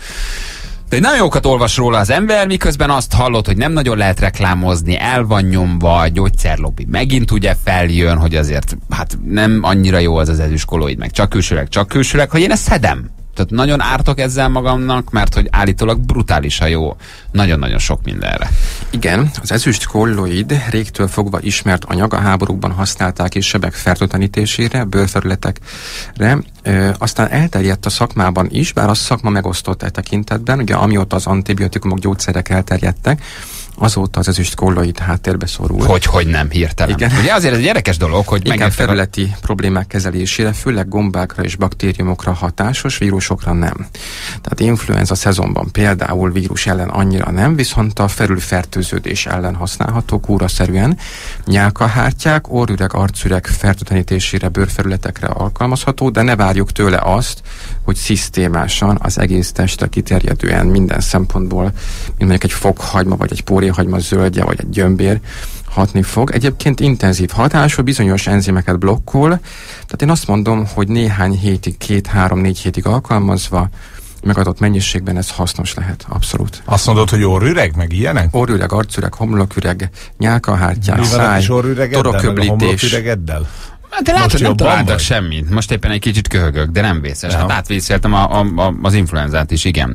De azt mondják, hogy antibakteriális szer, hogy több mint nem tudom, 600 dolgot írt ki az ember szervezetéből, hogy az, antibakte- a, a, a, a, az antibiotikum jóval kevesebbet, hogy, tehát, hogy hihetetlen széles a hatásmechanizmusa, és hogy mint a 40-es évek előtt az egyetlen antibiotikum volt, ugye idős öregapáink sem véletlenül szopogatták az ezüst kanalat. Aztán megjött az antibiotikum, ami ugye brutálisan nagy profit a gyógyszergyáraknak, és hogy, hogy nem, hát a szintetikusan előállított ezüst kolloid az úgy kicsit háttérbe vonult, vagy vonultatták, tudni, illetve hogy- pontosabban kiszorították, ugye? Így van, így van. Egyrészt attól is tartanak, hogy halmozódik a testben, és akkor bekékülünk, meg a szemfehérjénk is ilyen kék lesz. Voltak ilyen riogató ö, internetes oldalak, ahol ezt mutogatták, hogy bizonyos emberek bekékültek. Ugye itt a kolloidális ezüstről beszélünk, nem az ezüst kanalakról, vagy villákról, vagy e, egyebekről. A lényeg az, hogy a kolloidális ezüst speciális technológiával elektroforézissel készül, és így olyan szemcse méretű anyagot, folyadékot hoznak létre, ami a testben kifejti a hatását. De még egyszer mondom, nem annyira a keringésben, hanem inkább a nyálkahártyákon és a test üregekben, női szervek, férfi szervek stb. húgyhólyag, stb. itt fejti ki a hatását, és erre alkalmazható. Egyébként sokan alkalmazzák, és én meg, megkockáztatnám, hogy, hogy hasznos és használ a termék, abszolút. Na, Kapható, akkor, akkor, engedélyezett. Ez jó. Abszolút igen, de hogy, igen, hogy baktériumölő, és hogy rengeteg Lyme-kor, itt olvas az ember a kandida, gombásodás, herpes, tehát egy hihetetlen gyöngyszem van az ember kezében, és hogy ugye keveset olvasol róla, nem nagyon hallod, nem tudod, hogy egyébként a szervezet is Igen. előállít ezüstöt, tartalmaz ezüstöt, és hogy ez mennyire segít, bejut a vérkeringésbe, jobban szívódnak föl tápanyagok, tehát én nagyon jókat olvasok róla. Szerintem egy kicsit ez is túl van dimenzionálva, mint, mint ahogy minden. Tehát azt kell hazavinni ebből, hogy a gomba és a baktérium telepeket csökkenti, enzimjét blokkolja. Folynak a kutatások azzal kapcsolatban, hogy az emberi sejtekre, hogy hat jelenleg úgy tudjuk, hogy igazán nincs hatása az emberi sejtekre, ugye mert ami a bacikra hatással van, az a sej, az emberi sejtekre, szomatikus sejtekre is hatással lehet. Jelenleg úgy tűnik, hogy nem, nem jellemző. Abban a mennyiségben, ahogy ezt használjuk, kifejti a hatását, de minket nem bánt, uh-huh. nem okoz rákbetegséget, vagy Én szoktam ilyen orcseppes sejtpusztulást. kriszimesbe az orba, a torokba. Tehát, hogy tényleg A bemeneti nyílásokat átöblítem. Ja, hát minden, Világos. más, mindenhol kicsit gargalizálgatunk. Igen, aztán fejen állok, és úgy gargalizálok. Igen.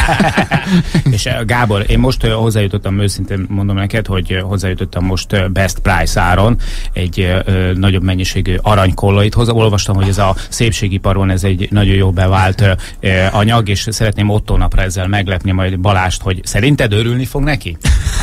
Egyébként tényleg van arra kolloid. aranykolloid, és egyébként tényleg a szépségiparban használják. Igen, igen. Az is jó?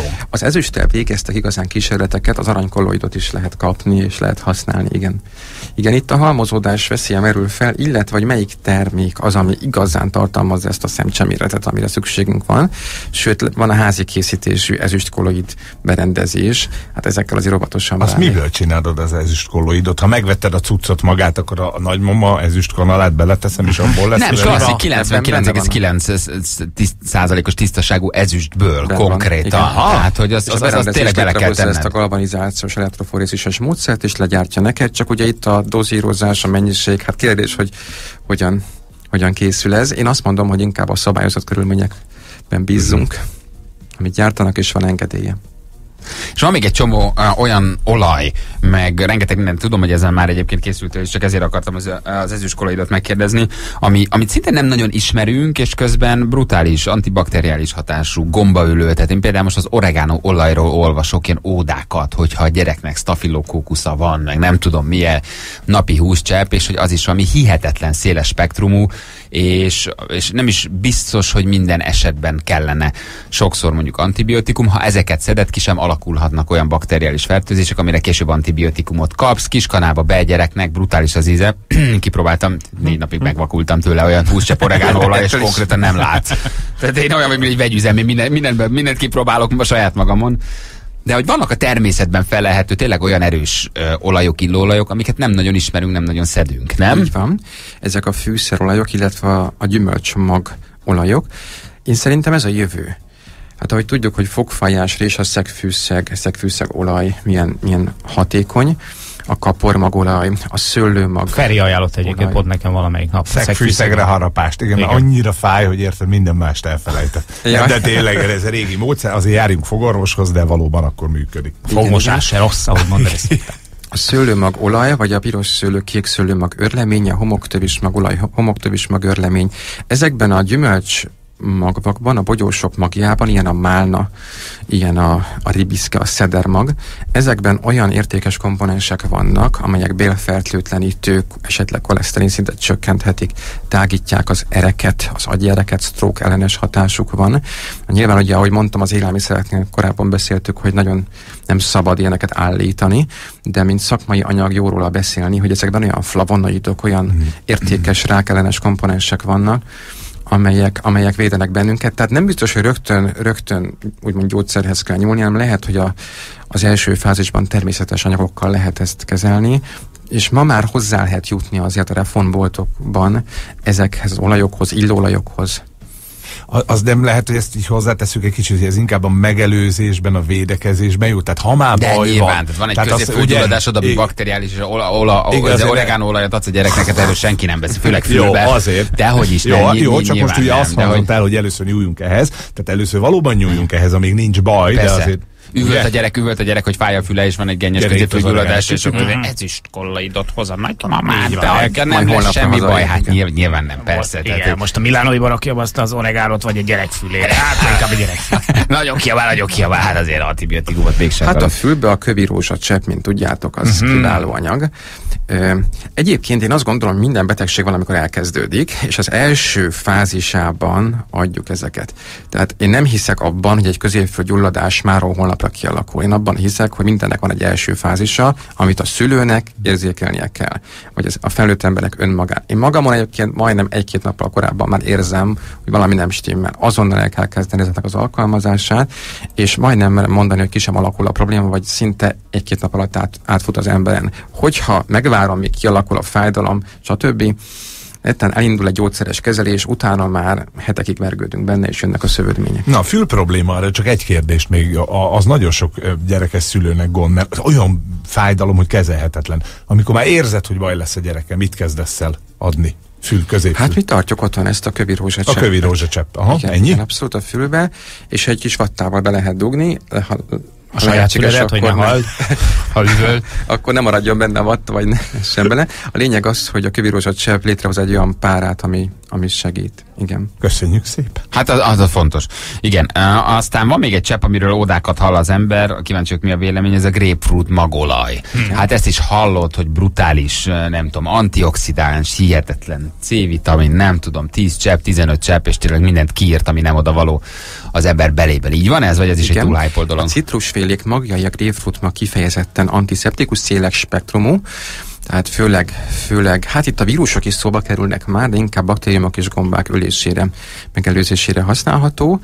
Egy picit lájtosabb anyag, mint az ezüst kolloid, a grapefruit magcsepp, természetes alapú. Én azt mondom, hogy ezt is használhatjuk, illetve ha éppen nem az ezüst kolloidot, akkor a grapefruit magcseppet használjuk, ez is kapható a forgalomban és 4-5-8-10 cseppet adva naponta reggel, este, hogyha betegség van, akkor akár háromszor is, ezek a flavonok kifejtik a hatásukat, és szintén feltöltenítő hatású komponensek vannak benne, használjuk. Gyereknek ugyanúgy nyugodtan?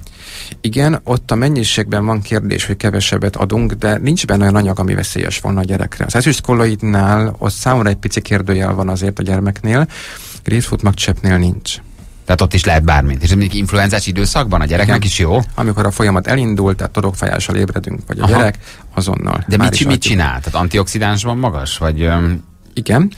Egyrészt gargalizálunk vele, tehát beleteszünk mondjuk 20, egy intenzív oldatot készítünk, de azt nem nyeljük le, hanem azt ugye a torokra leengedjük. Hát, hogyha a gyereket meg tudjuk itt tanítani mindenre, neked például a Balázs abszolút már is használható, akár a mai nap is, grapefruit cseppel való gargalizálás, öplögetés. A lényeg az, hogy ezüstcsepp és grapefruit is használható erre toroköblítésre. Lenyelni kisebb mennyiségeket szoktunk, az pedig a, a nyelőcső gyomor bélfertőtlenítésre alkalmas. Tehát így használjuk ezeket. A betegség első fázisában, amikor észleljük a problémát, már is adjuk, és van esély rá, hogy a multiplikációt, ugye amikor a vírusok sokszorozódnak, azt az immunrendszer igyekszik ugye elkerülni, de ugye, hogyha a nagy számok törvény alapján gondolkodunk, hogyha megnézitek, hogy egy vírus hogy sokszorozódik, egy napon belül elárasztja a testet. Tehát lényegében már, ha másnap kezdjük el a kúrát, már szinte alig van értelme. Tehát itt néhány órán múlik szinte minden a betegségnél. tehát akkor kell, amikor látjuk, elkezdeni szedni ezeket, vagy megelőzés jelleggel, preventív jelleggel, Így nem? van, így van. Este használjuk, és akkor reggelre talán nem is. Ugye éjszaka a szervezet észleli, elpusztítja a mikrobákat, és reggelre mondjuk nem engedi meg, hogy egy torokfájás kialakuljon, tehát akár este is adjuk. És a, a különböző virágokból nyert cseppekről, olajokról mi a vélemény például az ehináceáról például? Kasvirág, abszolút ez egy gyógynövény, mindenképpen. Ennek más hatása van, ugye ez a falósejtek intenzitását és számát ö, növelheti meg egy kasvirág tinktúra, fantasztikus. A propolisról is jókat tudok mondani, a méhpempőről is fantasztikusak. Ezeket a korábban említett gyömbéres, tormás, csilipaprikás oldat vagy anyag mellett használhatjuk, tehát éljünk ezeknek az előnyeivel. Bodza, Lehet- kökény, ilyenek? Hát ezeknek a bogyós terméséből készült ö, színes termékeket használjuk. Ezeknek a magját ritkán dolgozzák föl, vagy ha igen, akkor gyakran külföldre megy, és drága étrendi kiegészítők készülnek belőle, de jó volna Ja, nem erre gondoltam, a pálinka forma. Jaj, ne. Jó, az egyébként az is ster- sterilizál, csak nem kell sokat, Tinktúra. nem? Éreztem, hogy erre a témára ki fog, ki fog térni a Feri, a jó pálinka. Igen. Ez is torokfertőtlenítő, az tény. Mondjuk Csak nem én. szabad lenyelni, ugye? Én, én azt mondom, hogy inkább a torokig engedni, és ott, ott hasz, hasznosítani. Micsoda pazarlás, hogy megvernének vidéken ezért. Nem értenék, hogy mit csinálsz. Rosszul vagy, Cseri, megfullad. Vagy, meg ne halljál rosszul- Hátba vágnának azonnal, hát nem értenék, hogy mit gargalizálsz vele. Hát mit nor- normális vagy. Jó, van még valamilyen olaj, amit fölírtál magadnak? Vagy amiről szeretnél beszélni? Mert akkor a másik téma, amit hoztál, akkor azt áttesszük jövő hétre. Tudom, hogy kettő dologgal készültél, de meg vagyunk. Szőlőmag, kapormag, ugye a mustármag kérdés is előkerül, hogy a mustármaggal mit csináljunk, ez is jó a bélrendszerre, béltisztításra. Szokták használni, nem inkább az olaját, inkább a magot őrülve, vagy egészbe szokták fogyasztani. Ez a lovatosan, mert beszorulhat a bélbe.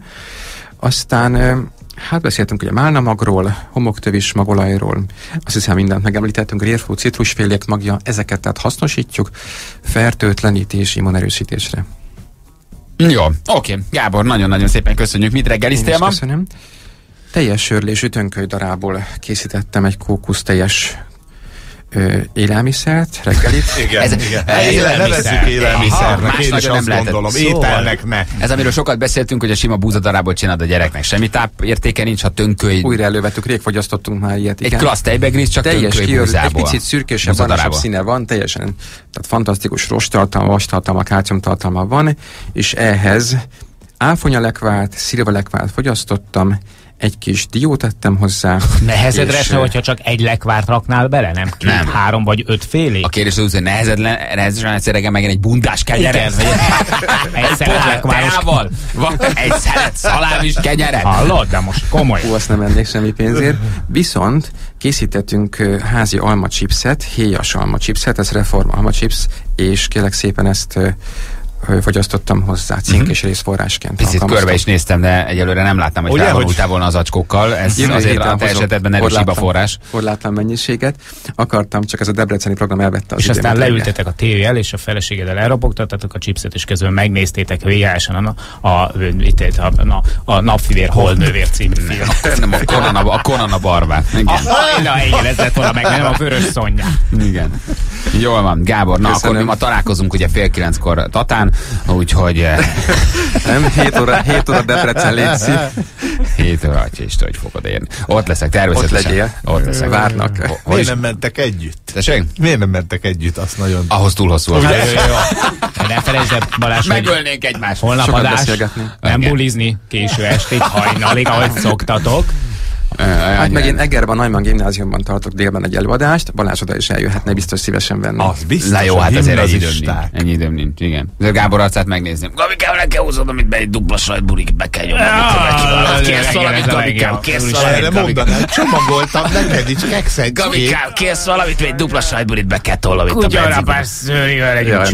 Nem utazom veletek.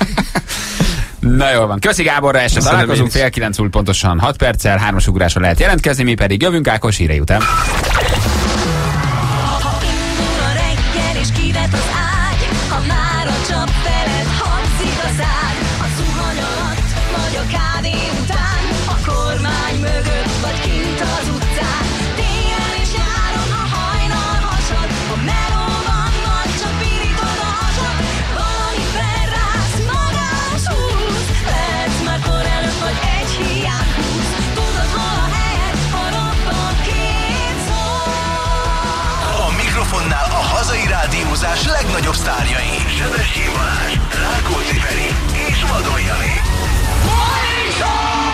FM-en. 3.49 múlt 3 perccel szép reggelt kívánunk mindenkinek, itt vagyunk. Hello Feri, hello Jani, hello, Hello. Jaj, gyerekek.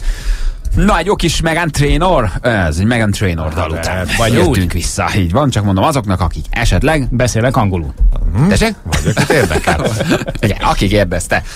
Na, nézzük a közlekedés híreket, mielőtt játszanánk a Magyarodi úton kifelé Nagy Lajos király útja előtt áll az út szélén, a forgalomban szemben. Egy trafizó autó. Így van, Attila küldte nekünk, köszönjük szépen. Viszonylag kevés ma a közlekedés, de trafik azért vannak, mondjuk, hogy... Nem eh, trafik, trafikok. Az Trafikok, így van. ja, igen. M3-as Füzesabonyi lehajtónál sárga csökket ott a Nemzetközi Közlekedési Hatóság, ez más, ugye? E, Koppány út sarkán a Tesco-nál négy rendőr várja a Gubacsi útról balra kanyarodókat. Hát ott akkor senkinek karanyarodjon balra. Millennium telepnél Soroksáron Fényképeznek.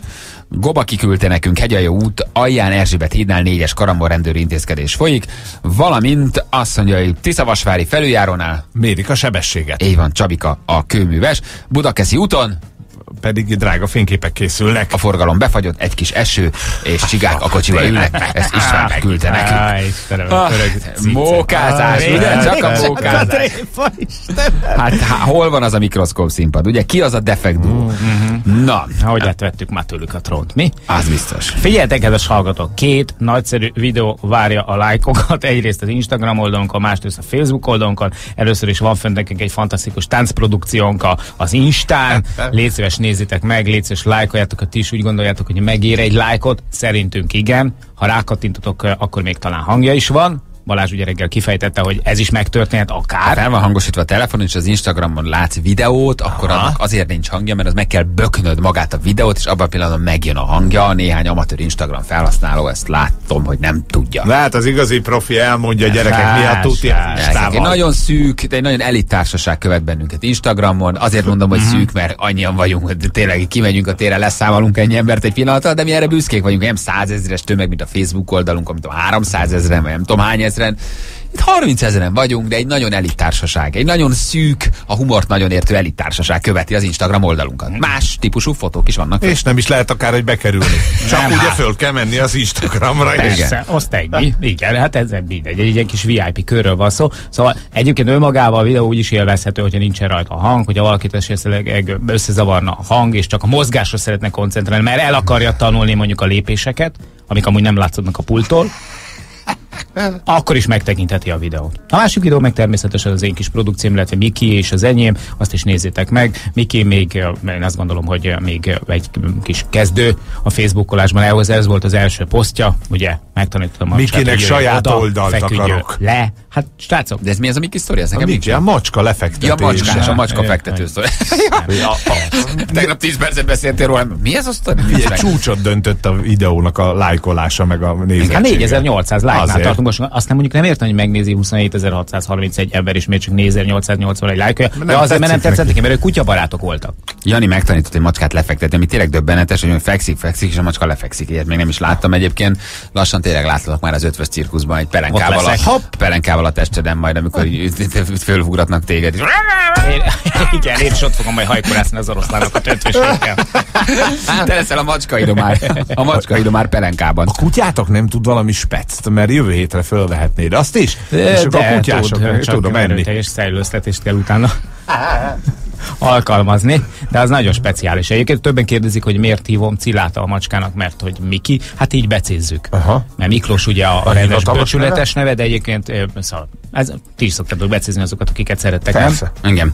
Ah, ez tök jó. Játszunk, jó? Eh, Hármas, ugrás, hármas ugrást játszunk már itt a hallgatónkkal. Hármas ugrás a Morning Show-ban. Felkészültél? Akkor fuss neki! Halló, jó reggelt! Sziasztok!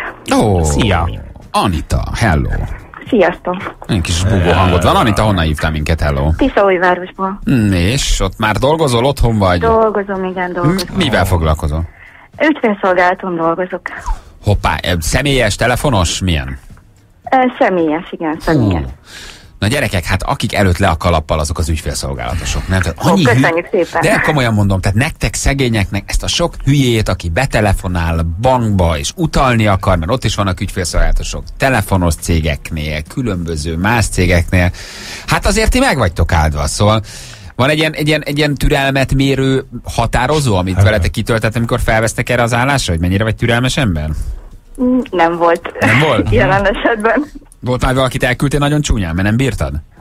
Hát nem. Nem? Nem, mondd már, semmit nem szedsz szemtikkelés, vagy önkéntelen arcizom rángatás, vagy rángás ellen? Nem. Nem? Sokkal, Még nem. Aha. sokkal hülye? Nem. Mi a fenét tudnám mondani? Persze szegénykém, hát ezek ilyen igen, sarokba szorító kérdések, persze mit mond a főnököt, ha azt mondod, hogy sok. Jó van, Anita, nem is kérdezünk többet, de le a kalappal tényleg. Tehát ügyfélszolgáltató dolgozni nem egyszerű. Hmm. Azt mondja, milyenek a kérdések, Jani? Tök könnyű. Könnyűek? Tényleg? Tudtad, hogy egy ügyfélszolgálatos lesz? Uh, igen.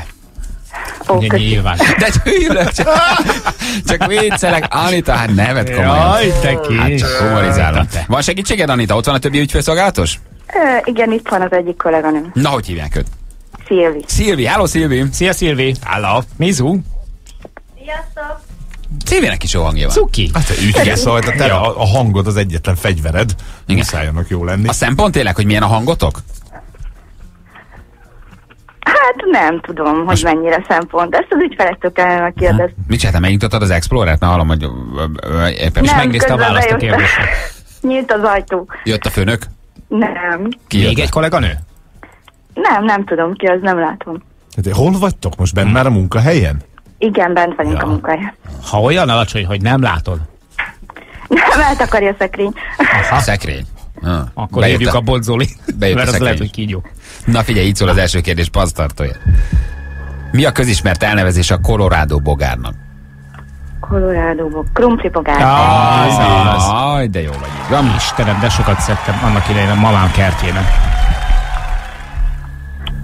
Menjünk tovább? Igen, persze. Sapkáért, sárért, így szól a második kérdés. Kit választottak legutóbb a nemzet sportolójává? Nemzet sportolójává 2014-ben akkor, ugye? Értem, hogy húzod az időt, megvan engedve az internetes használat. Hogy mondtad Balázs, a nemzet sportolójává? Várjál, erről olvastam. Mondtam, hogy frissítsd a gépet, mert túl lassú a vírusok miatt. Min gondolkozol? Na válaszom. Ott van. Kiabálja a kolléganőm, hogy Magyar Zoltán. Na, Köszi, meg- Szilvi! Csak megtalálta. Egy internet van csak nála? Így van, szép volt. Szép volt Szilvi. Nem, már közben másik kollega is bejött, ő is mondja, hogy Magyar Zoltán. Igen? Hmm, Előtted bizonyám. nincs internet? De van internet, de vannak itt Gyors. emberek, akik Vannak gyorsabban gyorsabbak. kapcsolnak, Ja. mint az internet. Szép. Na jó van, mi legyen a harmadik kérdésem? Menjünk tovább, ha már ennyien itt vagyunk, csak meg tudjuk oldani. Megoldjátok, Anita. Persze, itt szól a harmadik kérdés. Ki volt az istenek hírnöke a görög mitológiában? Görög mitológia. Na, gondolkozzatok, Istenek hírnöke. Ne, Azért ne túlozáig gondolkozzatok, üssétek a gépet, mondd meg Meg, nekünk nem kell gondolkoznunk, itt van a papírom. Na? Mennyire gyors? Hermész? Így van. Jó, Jó gép dolog ma. az az internet. Jaj, de szép volt. Jól van, na, ügyesek vagytok, jól használjátok a Ó, netet. köszönjük szépen. Úgyhogy, de ezt már természetesen megengedett, úgyhogy küldjük nektek az ajándékcsomagot. Köszönöm szépen. Sapka, sár és egy morning shows óra. Ó, de jó. Így van. Plusz, ahogy látom, kaptok némi horgász ajándékot is. De vala- jó! Na, van a az családban valaki, aki horgász? Igen, van. Kicsoda? A párom. Tényleg? Igen, igen. És elvisz téged, vagy inkább egyedül menj? Hát van, hogy én is elmegyek de én annyira nem vagyok a bolondja. Nagyon jó, nagyon jó. Ha esetleg pedig nem viszitek el valahova magatokkal, és nem használjátok rendeltetésszerűen, akkor egy kis borsóval, mm, mondjuk sárgarépával megpárolva, nem olyan rossz az a vaníliás kukorica. Az Isten. Már ettél már. kukit? Hallod? Én Megadom neked, Jani, nem. ki az a De én már halaknak van ember. kipróbáltam. Imádtam. És jó? Nem.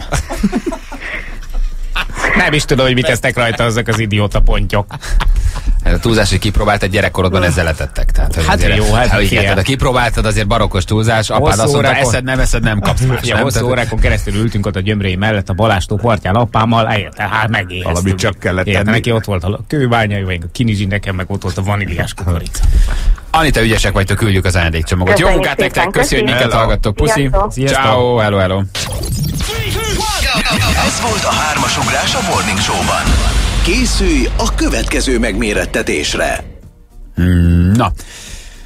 Hoztam a meglepetést. Ez a... Cici fagyi! Nyaljunk, fagy.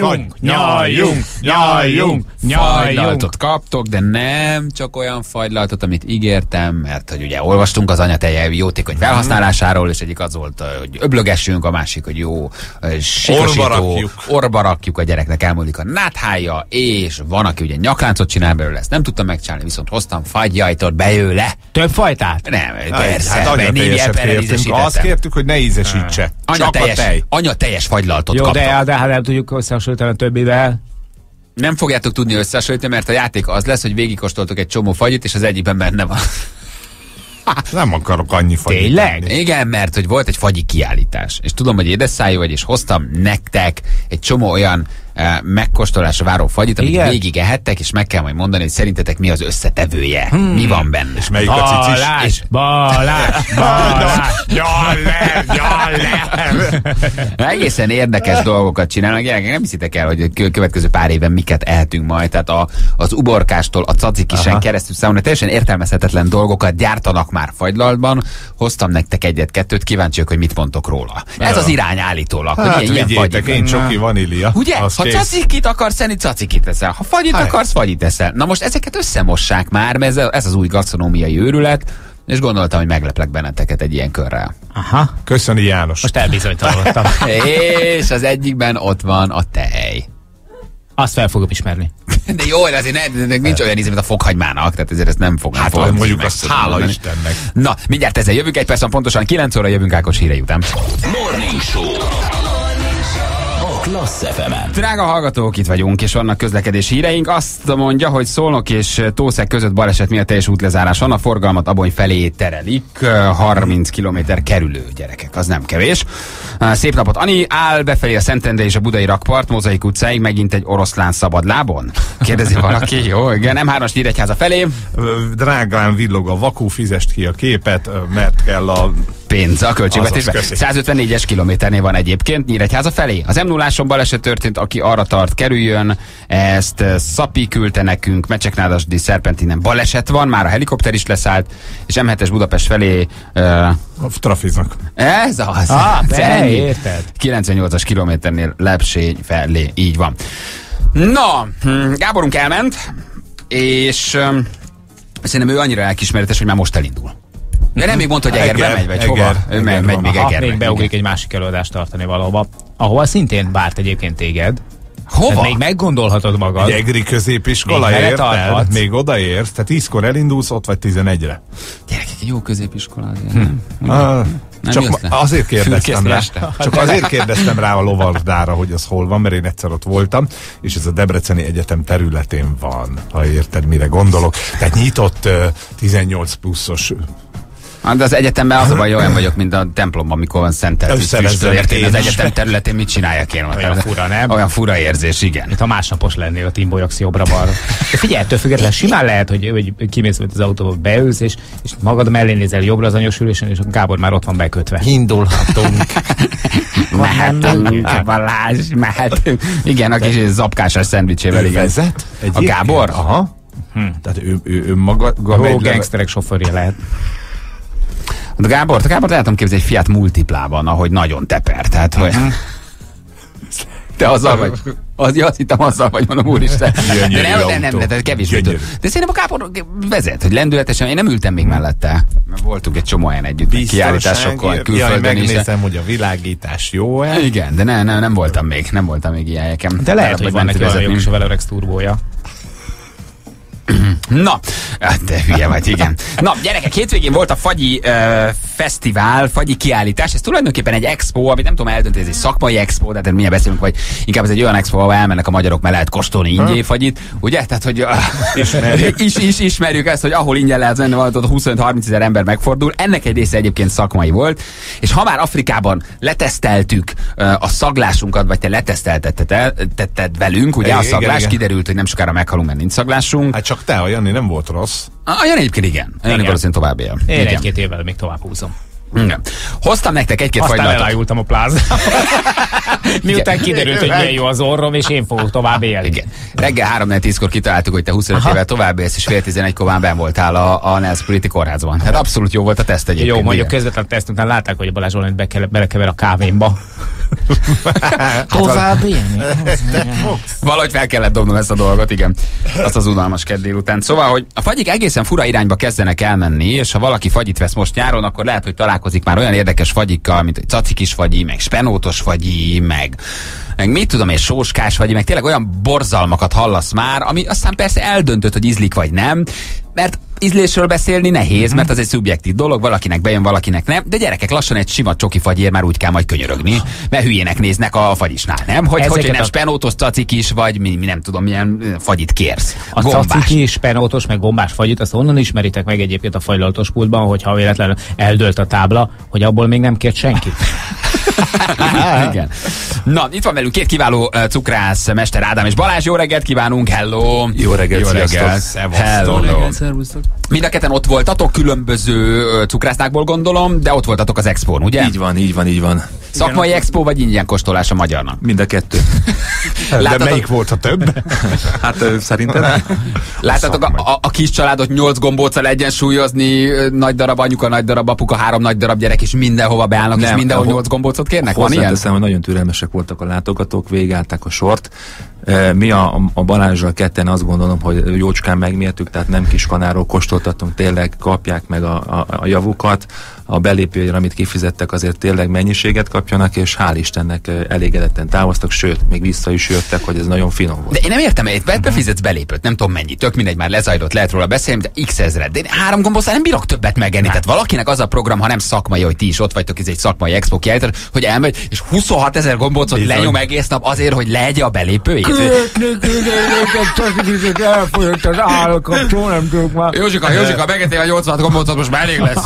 még, még. De, de látom, ez a cacik is ezzel nagyon fennakadt, egyébként ezt nem úgy kell elképzelni, hogy, Uborka hogy, darabok hogy lógnak ki belőle? de van benne uborka, de fokhajma meg bors nincs, mert ugye alapvetően a, a, az édesjoghurt ugye megvan, a mentás édesjoghurt az megint csak nem okoz problémát, Mhm. uh-huh. most az uborka az egy ab, abszolút frissítő dolog, jól lehet, hogy nem a márciusi 8 de mondjuk a nyári 32-ben kiváló. Az uborkás üdítőital is jó egyébként, lereszelve, jó, abszolút. egyébként tényleg jó, jó, tehát ezek jó jó. Tehát ez úgy volt felhasználások. egyébként ott is, ott is promotálva, hogy édes caciki, tehát így futott ez a, ez a fagylat. De ezeket így kérte a közönség, vagy ittatok valamit este, és másnap reggel így sikerült? Jogos. Vagy valamelyik kötöknek van étterme, maradt tízdek a caca. Nem. Józsikám, kever már bele a fagyban, nincs nem lesz Elkezdem a rohadt uborka salátával levették valami. Nem, szerintem a testvéremet kéne fejlődni, nem tudom, hogy előtte este valamit fogyasztott-e, majd megkérdezem tőle. De nem szóval egyébként itt, amiket mi használtunk, például a fűszereket, a, a petrezselymet a kivihez, a koriandert a megyhez, a sóskát a, a banánhoz, ezek mind, mind, mind ezeknek a... Jó, Ugye nem tetszik, hoztál tetszik. egy Mi van? Tényleg, Ezeket meg nem? kell kóstolni. De, de ezek tolnám? abszol, abszolút kiegészítője egymásnak, tehát nem kell ettől annyira megérni. Természetesen az alap, hogy rendes csoki és vanília, eper és citrom, szerintem ez a négy alap, ennek mindenkor kell lennie. Várjunk, milyen, természetes kiegészítés a sóska a banánnak. Te Nem mikor hogy ettél egyébként mi mivel passzol. Hát te láttál már az ötvös cirkuszban egy olyan Ricsi nevű majmot, aki az egyik kezébe sóskát tart, a másikban banán? De most fogsz. És De most az fogsz. oroszlánokat? figyelj, rakunk rád egy perenkát, megkapod a fagyit, és meg vagyunk. Igen. Egy tök jó hozott. Tehát abszolút, abszolút jók vagyunk. De a, pont, pont, pont nem is tudom, az Indexen olvastam, hogy hiszem pont rólatok írtátok, írták, hogy talán egy kicsit túltoltátok ezt a gasztrobiciklit. Hát, Tehát, hogy ez így de, de, te, tetszik a megfogalmazás, hogy túltolták a gasztrobiciklit.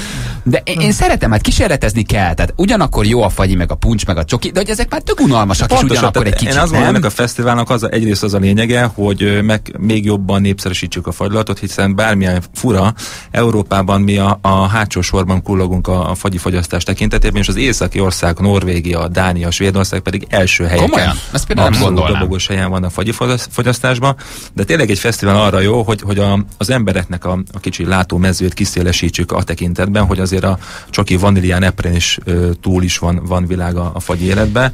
Hát ennél volt durvább is, tehát volt olyan, hogy márvány sajtos fagylat, de ami Fú, nekem, az jó. ami, nekem nagyon, ami nekem nagyon tetszett, és az indult a versenyen is. Fi- most figyelj, uh, snidlinges fagylat, kenyérfagylat snidlinggel, kandírozott békönnel. Feri, hazaértél? Feri, hazaértél? Na, az igen. Kérdezd meg, amit akarsz. Volt a szalonnál. Most ébredtem, hogy pörcös kolbászos szalon. A gyerekkel elnyalott Szóval ez, már, ez már mondjuk nálam is egy picit azért sok, tehát a fagylat azért az legyen édes. Igen, de sós. tulajdonképpen ti diktáljátok, és ti teszitek ki, vagy nektek azt kell kitenni, amit az ember kér, mert ugye ez egy nehéz dolog, hogy hiába akartok újítani, ha rátok rohadt, mert mindenki puncsot, vaníliát, meg banánt akar, vagy azt mondjátok, hogy le ezzel, meghagyunk egy-két hagyományosat, be az újat, aztán majd rászokik a tömeg, aki jön. Pontosan ez a lényege nekünk cukrászás szempontból, tehát akár a Balázsiknál, akár nálunk is ugye milyen 10-16-18 féle fagylatot bemutattunk, és azért láttuk azt, hogy mik azok az ízek, amik ugye közkedveltebbek.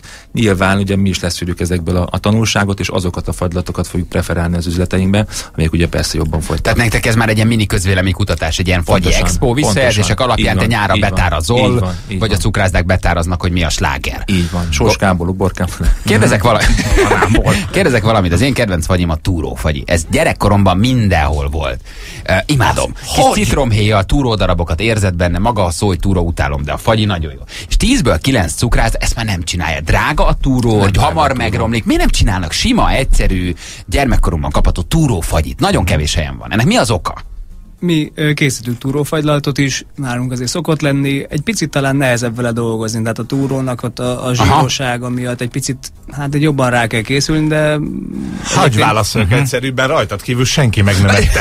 Nem, nem, Nekem ez egy ilyen gyerekkori, a rizsfagyi, mert éreztem gyerekkoromban a rizsdarabokat, és a túrófagy, amilyen érzed a túrónak az ízet, kis citromia, vaníliát, és zseniális, kevés helyen van. mind a kettő benne van a választékunkban, de hát ö, ugye cserélgetjük azért így a 18-as pultba időnként nyilván uh-huh. Belekerül, néha kimarad, de készítünk rizsfagyit is, szinte általában valami gyümölcsel, tehát ilyen gyümölcs rizsszerű dolgot szoktunk készíteni. És akkor mondjuk egy olyan cukrászda, aki nem tudom, tényleg csinál ilyen, nem tudom, tzatziki is, vagy brassó, és nem tudom, ott már egy konyhai üzem már főzi a száraz kaját, és azt teszitek a fagyiban, mert ugye a cukrászda erre nincs felkészülve, vagy csak az ízét teszitek bele tényleg? Tehát egy pici fokhagymát, vagy egy pici uborkát. mondjuk. Fokhagyma az nem kerül Fokhagyma bele, nem. Aha. De hát igen, erre, tehát nagyon sok a, a háttérmunka az rengeteg, tehát ugye amíg nagyon jó dolog beállni a, a fagylatpult elé, és, és kéne egy gombóc fagyit, nem nagyon látják azért, hogy körülbelül mennyi munka van e mögött. Hogy vágnak át minket Na de attól nem lesz jobb íze a fagyinak, ha tudom, hogy mennyit melosztok vele. Azt a rohadt életet! Öcsém, öt órája keverem ezt a... Segítsetek, nagyon, jó, nagyon jó a kérdés, Nagy- ez a kedvencem. Ne viccelj, hát persze, hogy jó a a kérdés, jégkrémet, hát- azt, azt tessék elfelejteni. Na, ezt ugye- kérdezem, hogy ugye, igen. ugye a jégkrém és fagylat között az a különbség, hogy még a fagylatnak van egy természetes levegő felvevő képessége, ugye a habosodás, amikor készül a fagylat, a jégkrémbe bele erőszakolják a levegőt, belenyomják. Másrészt ugye azért ne felejtsék el, hogy a kézműves fagylat tényleg nemes anyagokat tart, tartalmaz. Hát ugye a vanília, ugye az látott már például a vaníliarudat, a csokoládé fagylatban például van csokoládé is, a gyümölcsfagylatoknak a gyümölcs tartalma körülbelül 40 százalék.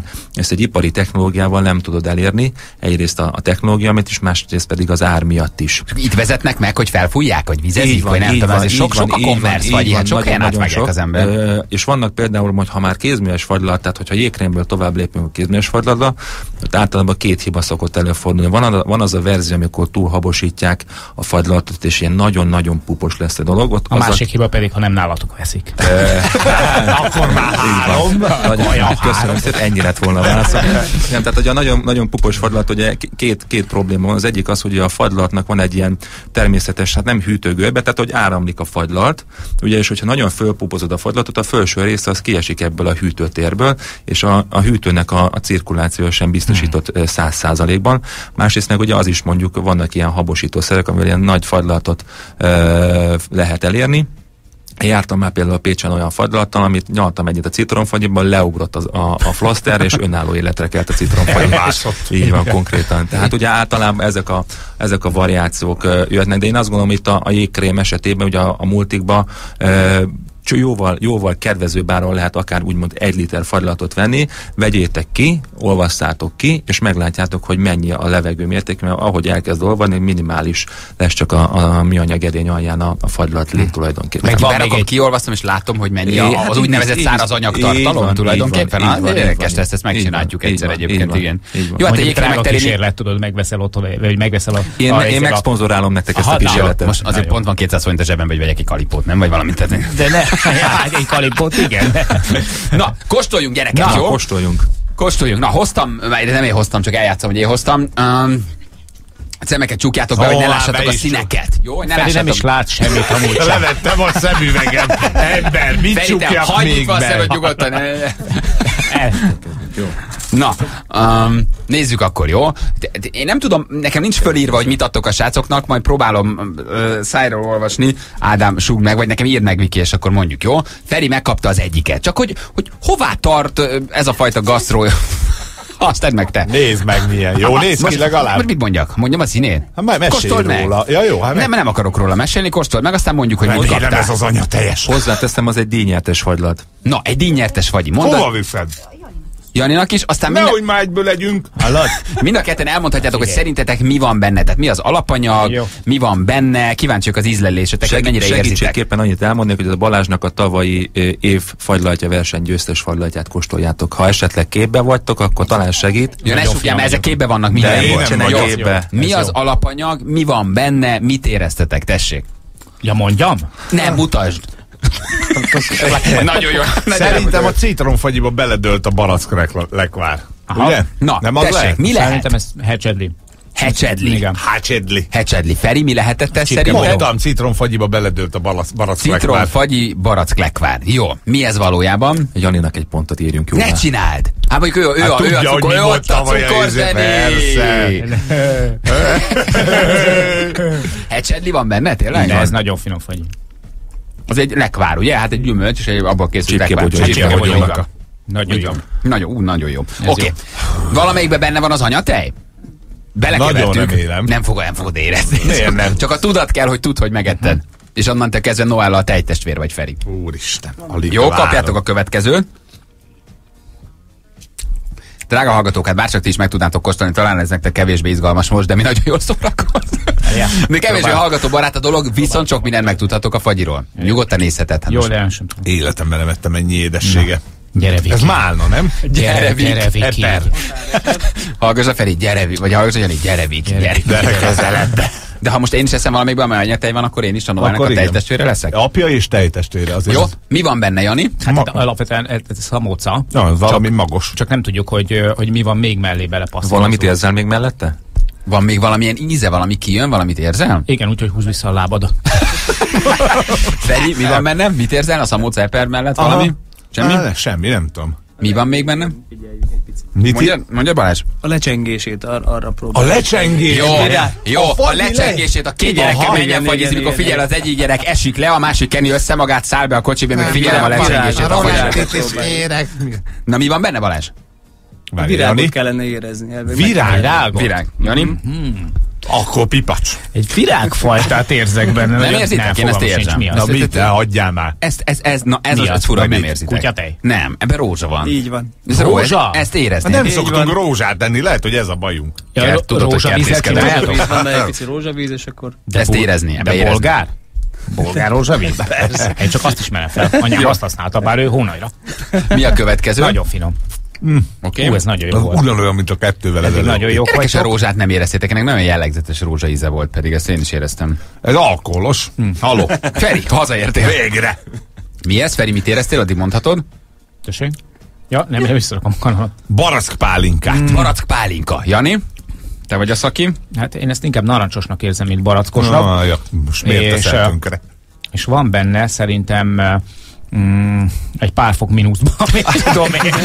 Oké. Nem tudom. Nem Mi volt ez? tudom, Mi, ez milyen? Ez egy homoktövis fagylalt volt. Ha Gábor itt lett volna, biztos, hogy kitalálja. Hát Nagyon, ő hogy jó. hallottam. Nagyon jó. ő. Ő homoktövis szakértő egyébként, igen. Nagyon magas a ez- C-vitamin tartalma, antioxidáns tartalma. Kérdés, hogy mennyi marad meg, ugye hát ezt nem lehet tudni, minden esetre íze nagyon érdekes. Szerintem egyébként most, most persze ez okos, okoskodás, főleg amikor itt vannak a szakértők, de hogyha a homoktövésbe egy picit több cukor kerül, akkor már annyira megváltoztatja az ízét, karakterét, hogy érdemes mondjuk cukormentes homoktövés eh, lekvárt megkóstolni, mert akkor jön elő az íze. Nagyon-nagyon könnyű tompítani meg, jellegtelenné tenni a fagyit. Mm. Ezt most sikerült nektek, srác. De hogy is nem Nagyon finom. Egyébként Balázs, most visszatérve a vitamin hogy a gyümölcsfagy esetében, ugye mivel egy hideg eljárással készül, azért többnyire kevésbé benne van a, a vitamin, így van, és ö, nagyon fontos az, hogy ö, nyilván többféle módon lehet gyümölcsfagylatot készíteni, de mi általában a, a, a vizes bázist ö, preferáljuk, ezáltal ugye a tejérzékenyek, laktóz, tejcukor érzékenyek is fogyaszthatják, így van. Ez Gyerekek, az milyen érdekes, hogy régen tényleg le, lezavart anyád egy gombóc pisztáciáért, és ma már ez tudomány lett, nem? Szóval ilyen fagyi, olyan fagyi, ilyen alap, olyan alap, szóval hova fejlődik a, a gasztronómia elképesztő, nem? Igen. Egy Janikám, csoki fagyi, ettél csoki idején a, voltál. a mosogatás volt a lecsengés, most meg 250 ér megvettél egy gombócot, tényleg most olyan igen, csak a- vannak abban már, az hogy ide, időben, amikor a Janit leküldte az anyukája csoki fagy, nagyon nem volt csokoládé se. azért küldték le, mert tudták, hogy nem találja meg, már- Na, mi a Ez következő? madártejfagyi. Madártejfagyi, mondja a Feri, Jani kóstolja Mi egyet az, gyorsan. határeset? Ne szórakozzál. De próbáld az összetevőket, hogy mi lehet Madár, benne. meg Madártej. tej. Igen, hát ez egy vanília fagyla. Na, vanília, madártej. Vanília fagyla- madártej? Tojásárgája, vanília rút, az van benne gyakorlatilag, igen. Aha, érzel még valamit benne? Jani, te is kóstolnál? Kétféle is. Jó, mikor Jani mindegyik fagyit úgy eszi, hogy be- kicsit vizionálja Viki melleit. A tej testvére. Ez a viki ízű. Érezted a tejet? Én nem tudom, melyikben van. Nem érzed? Hund be a szemed, gyere. Viki. Jani, érzed a tejet? Hmm, értem már, hogy miért akartál második gyereket. Ebben van? Ebben Na, van. ez kell. Ez le. Ünnepi pillanat. Éj, Ebben van az anyatej. Ezt Nektek megisszuk, ennek minden cseppét. Bármikor meglátjátok Noel nevezetű gyermekemet, pacsizatok vele, és mondjátok, hogy gyere a papához, tejtestvérek vagyunk. Az orromba is öntök állandóan dugul. Ebben jó. kevertétek kicsit? Ádám, ebbe raktatok? Azért Aha. volt ez a kis finom édessége benne, a plusz. Gyerekek, én naturba kóstoltam egyébként, nem hülyék a gyerekek, hogy szeretik. Tudják, Nem, hogy nincs, nincs, nincs, rossz, nincs rossz ízem. Jó, Onnan már tudtam egyébként, hogy éreztem, hogy a sírás folytogat, előtte mindig felsír. És azt mondani, hogy anya. vesznek. na, mi van még egy utolsót még, utolsót még nézzünk. Jó, mi van nálad, Feri? Ó. Mák. Mák? Most ugye elárulta a Feri, mm. amikor rögtön abból akarnék enni. Én imádom a Na, márfagyit. jó. Szegény hallgatók csak a csámcsogast hallják, és vizionálják, hogy milyen ízeket érezhetünk. Hmm. Hozzáteszem, hogy a Balázs egy kicsit izgultunk, hogy ki fogjátok-e találni az ezeket, mert ha nem, akkor mi- lettünk Akkor igen, baj van. De nem vagyunk rosszak, tehát Nem, alapvagyi felhasználókhoz képest nem, nem vagyunk rosszak, úgyhogy egyikünk se látta a listát teljesen tudatosan, nem Szinte biztos meg. vagyok benne, hogy ezt nem találom ki, de, de ne, most komolyan, mert hogy, hogy itt, itt, ebben lesz valami csalfintoság, nekem ez szeder csokival.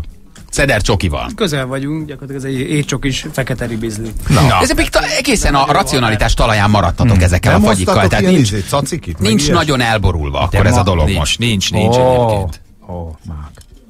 Balázs? Na, ez egyforma most? Nem, egészen. Már ezt az utolsó, csak utolsó, ez... Nagyon kínáljátok, ez gyanús. Ebbe apa tej van, srácok, vagy ebbe mit tettetek, mert nagyon-nagyon furi. Ez megy. Cseresznye. Nem? Paradicsom. Feri, ezt, ezt te csak folyékony formában ismered, Feri. Ez, ez, Ez, ez, neked, jobb is az íze, mint ez, neked, a... ez neked túl szirán. Várjál, most megkóstolom.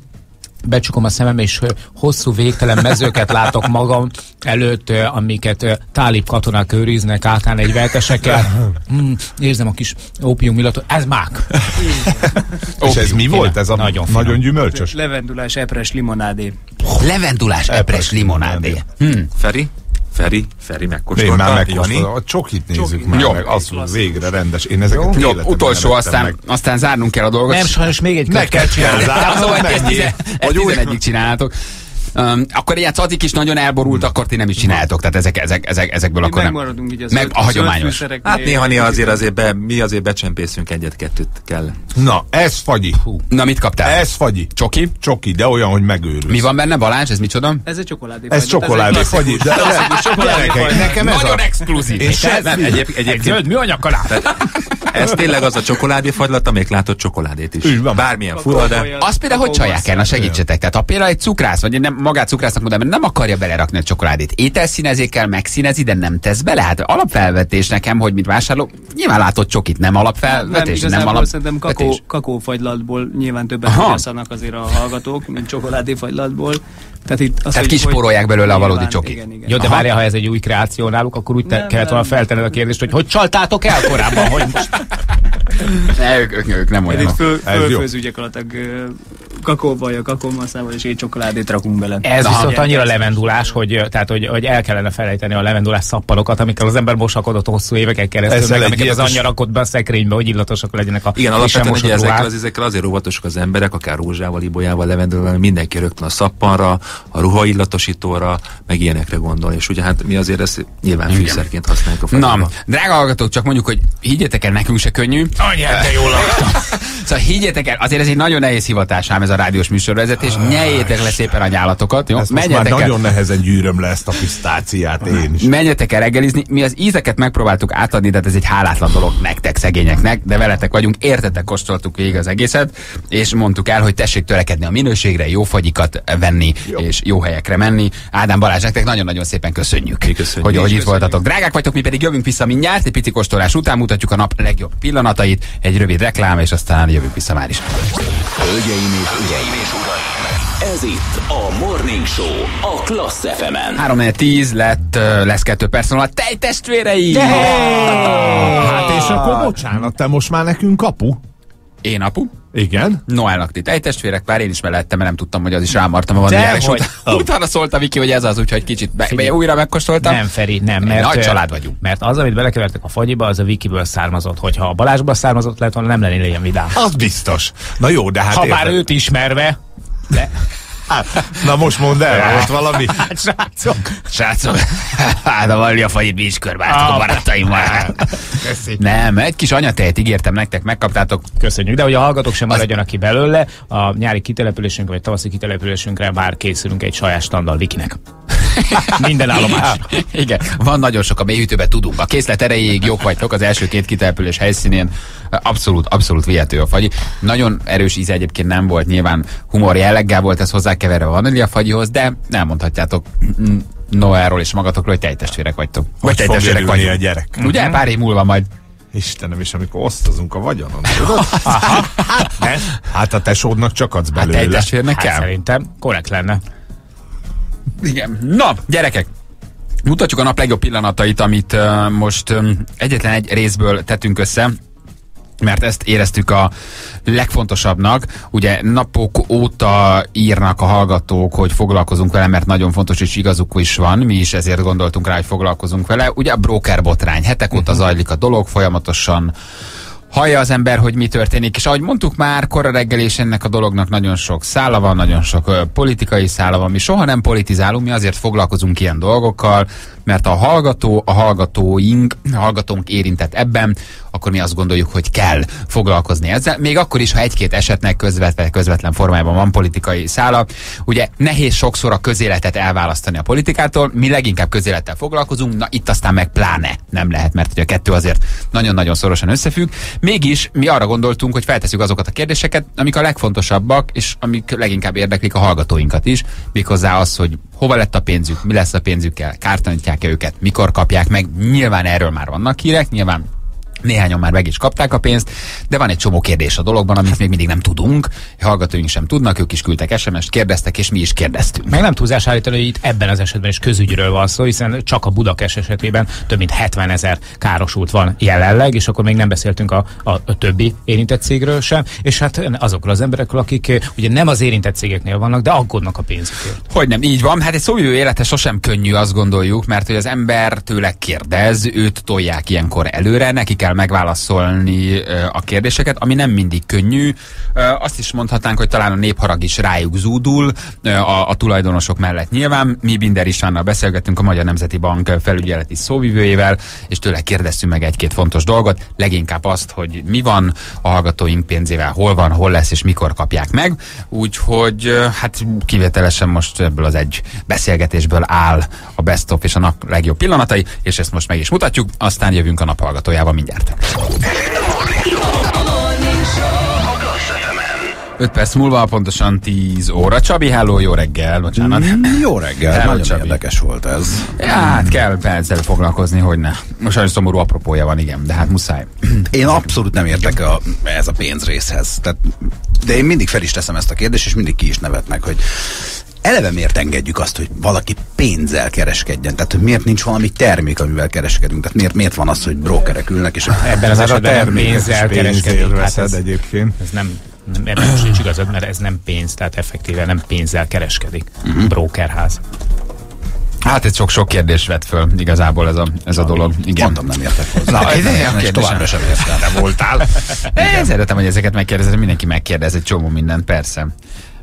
Döbbenet, hogy ez még mindig megtörténhet egyébként Igen. szerintem. Tehát, De hogy hogy- ez, ez, a- ez a keményebb. Hogy rámenjek hát a azon emberek, akik ott állnak, és, és, és a megtakarításuk, és a, és a gyűjtött pénzük, és az életük műve, mm. és azért itt hallunk ártalanításról, de van, ahol csak 6 millióig, és van, akinek nem annyia volt, és nem azért, mert összelopta, csalta, hanem mert mondjuk 30-40 éve gyűjtötte, félretette a gyereknek, és eltűnt, elúszott, és valószínűleg nem lesz meg, és nem biztos, hogy fogják tudni kártalanítani. Persze, nyilván mindenki mindent megtesz, ahogy elmondta István, és hát nyilván a Magyar Nemzeti Bank is arra törekedik, hogy a lehető legjobban jöjjön ki belőle mindenki.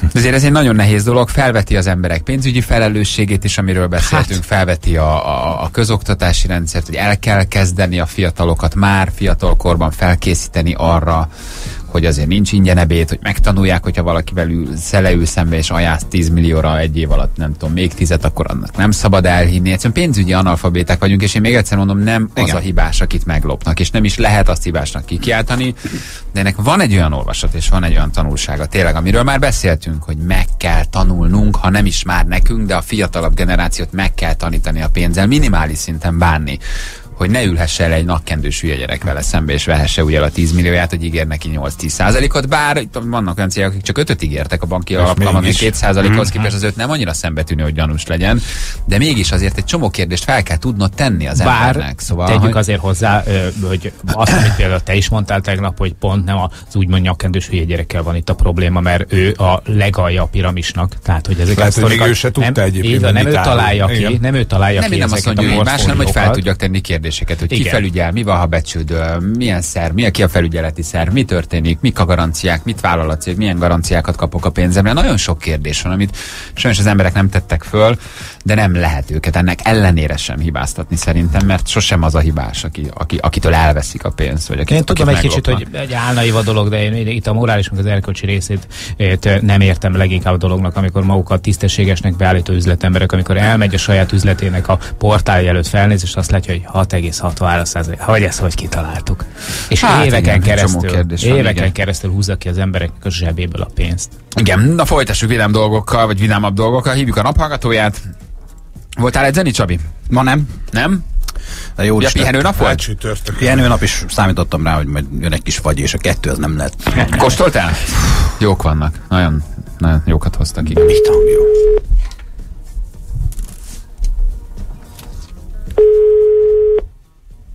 Ugye? Ugye, ugye? Bugi, bugi. Morning show? Az bizony!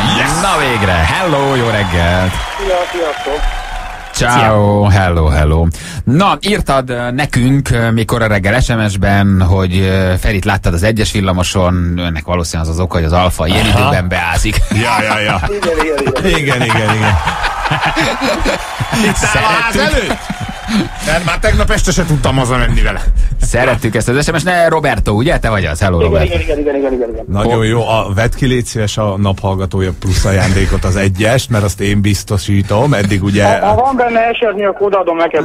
Nem, nincs, nincs, nincs, nincs, nincs. Valami más van benne, de hát... Egy, egy spotot buktál. Igen. Igen. Hol hallgatsz minket, Roberto? Budaszokon 22. kerület. 22. 22. kerület, igen. Jól van, te vagy a naphallgatója, van egy csomó plusz ajándékod, és küldünk neked egy szép kis ajándékot, mert mondtad, hogy Morning Show, úgyhogy ezzel háláljuk meg, hogy minket hallgat. Köszi neked, ciao, szép Köszönöm napot. szépen. Köszi. Roberto. Hello, hello, hello. Fogom figyelni, hogy mikor jön vacsira. Ez igen, figyelj csak.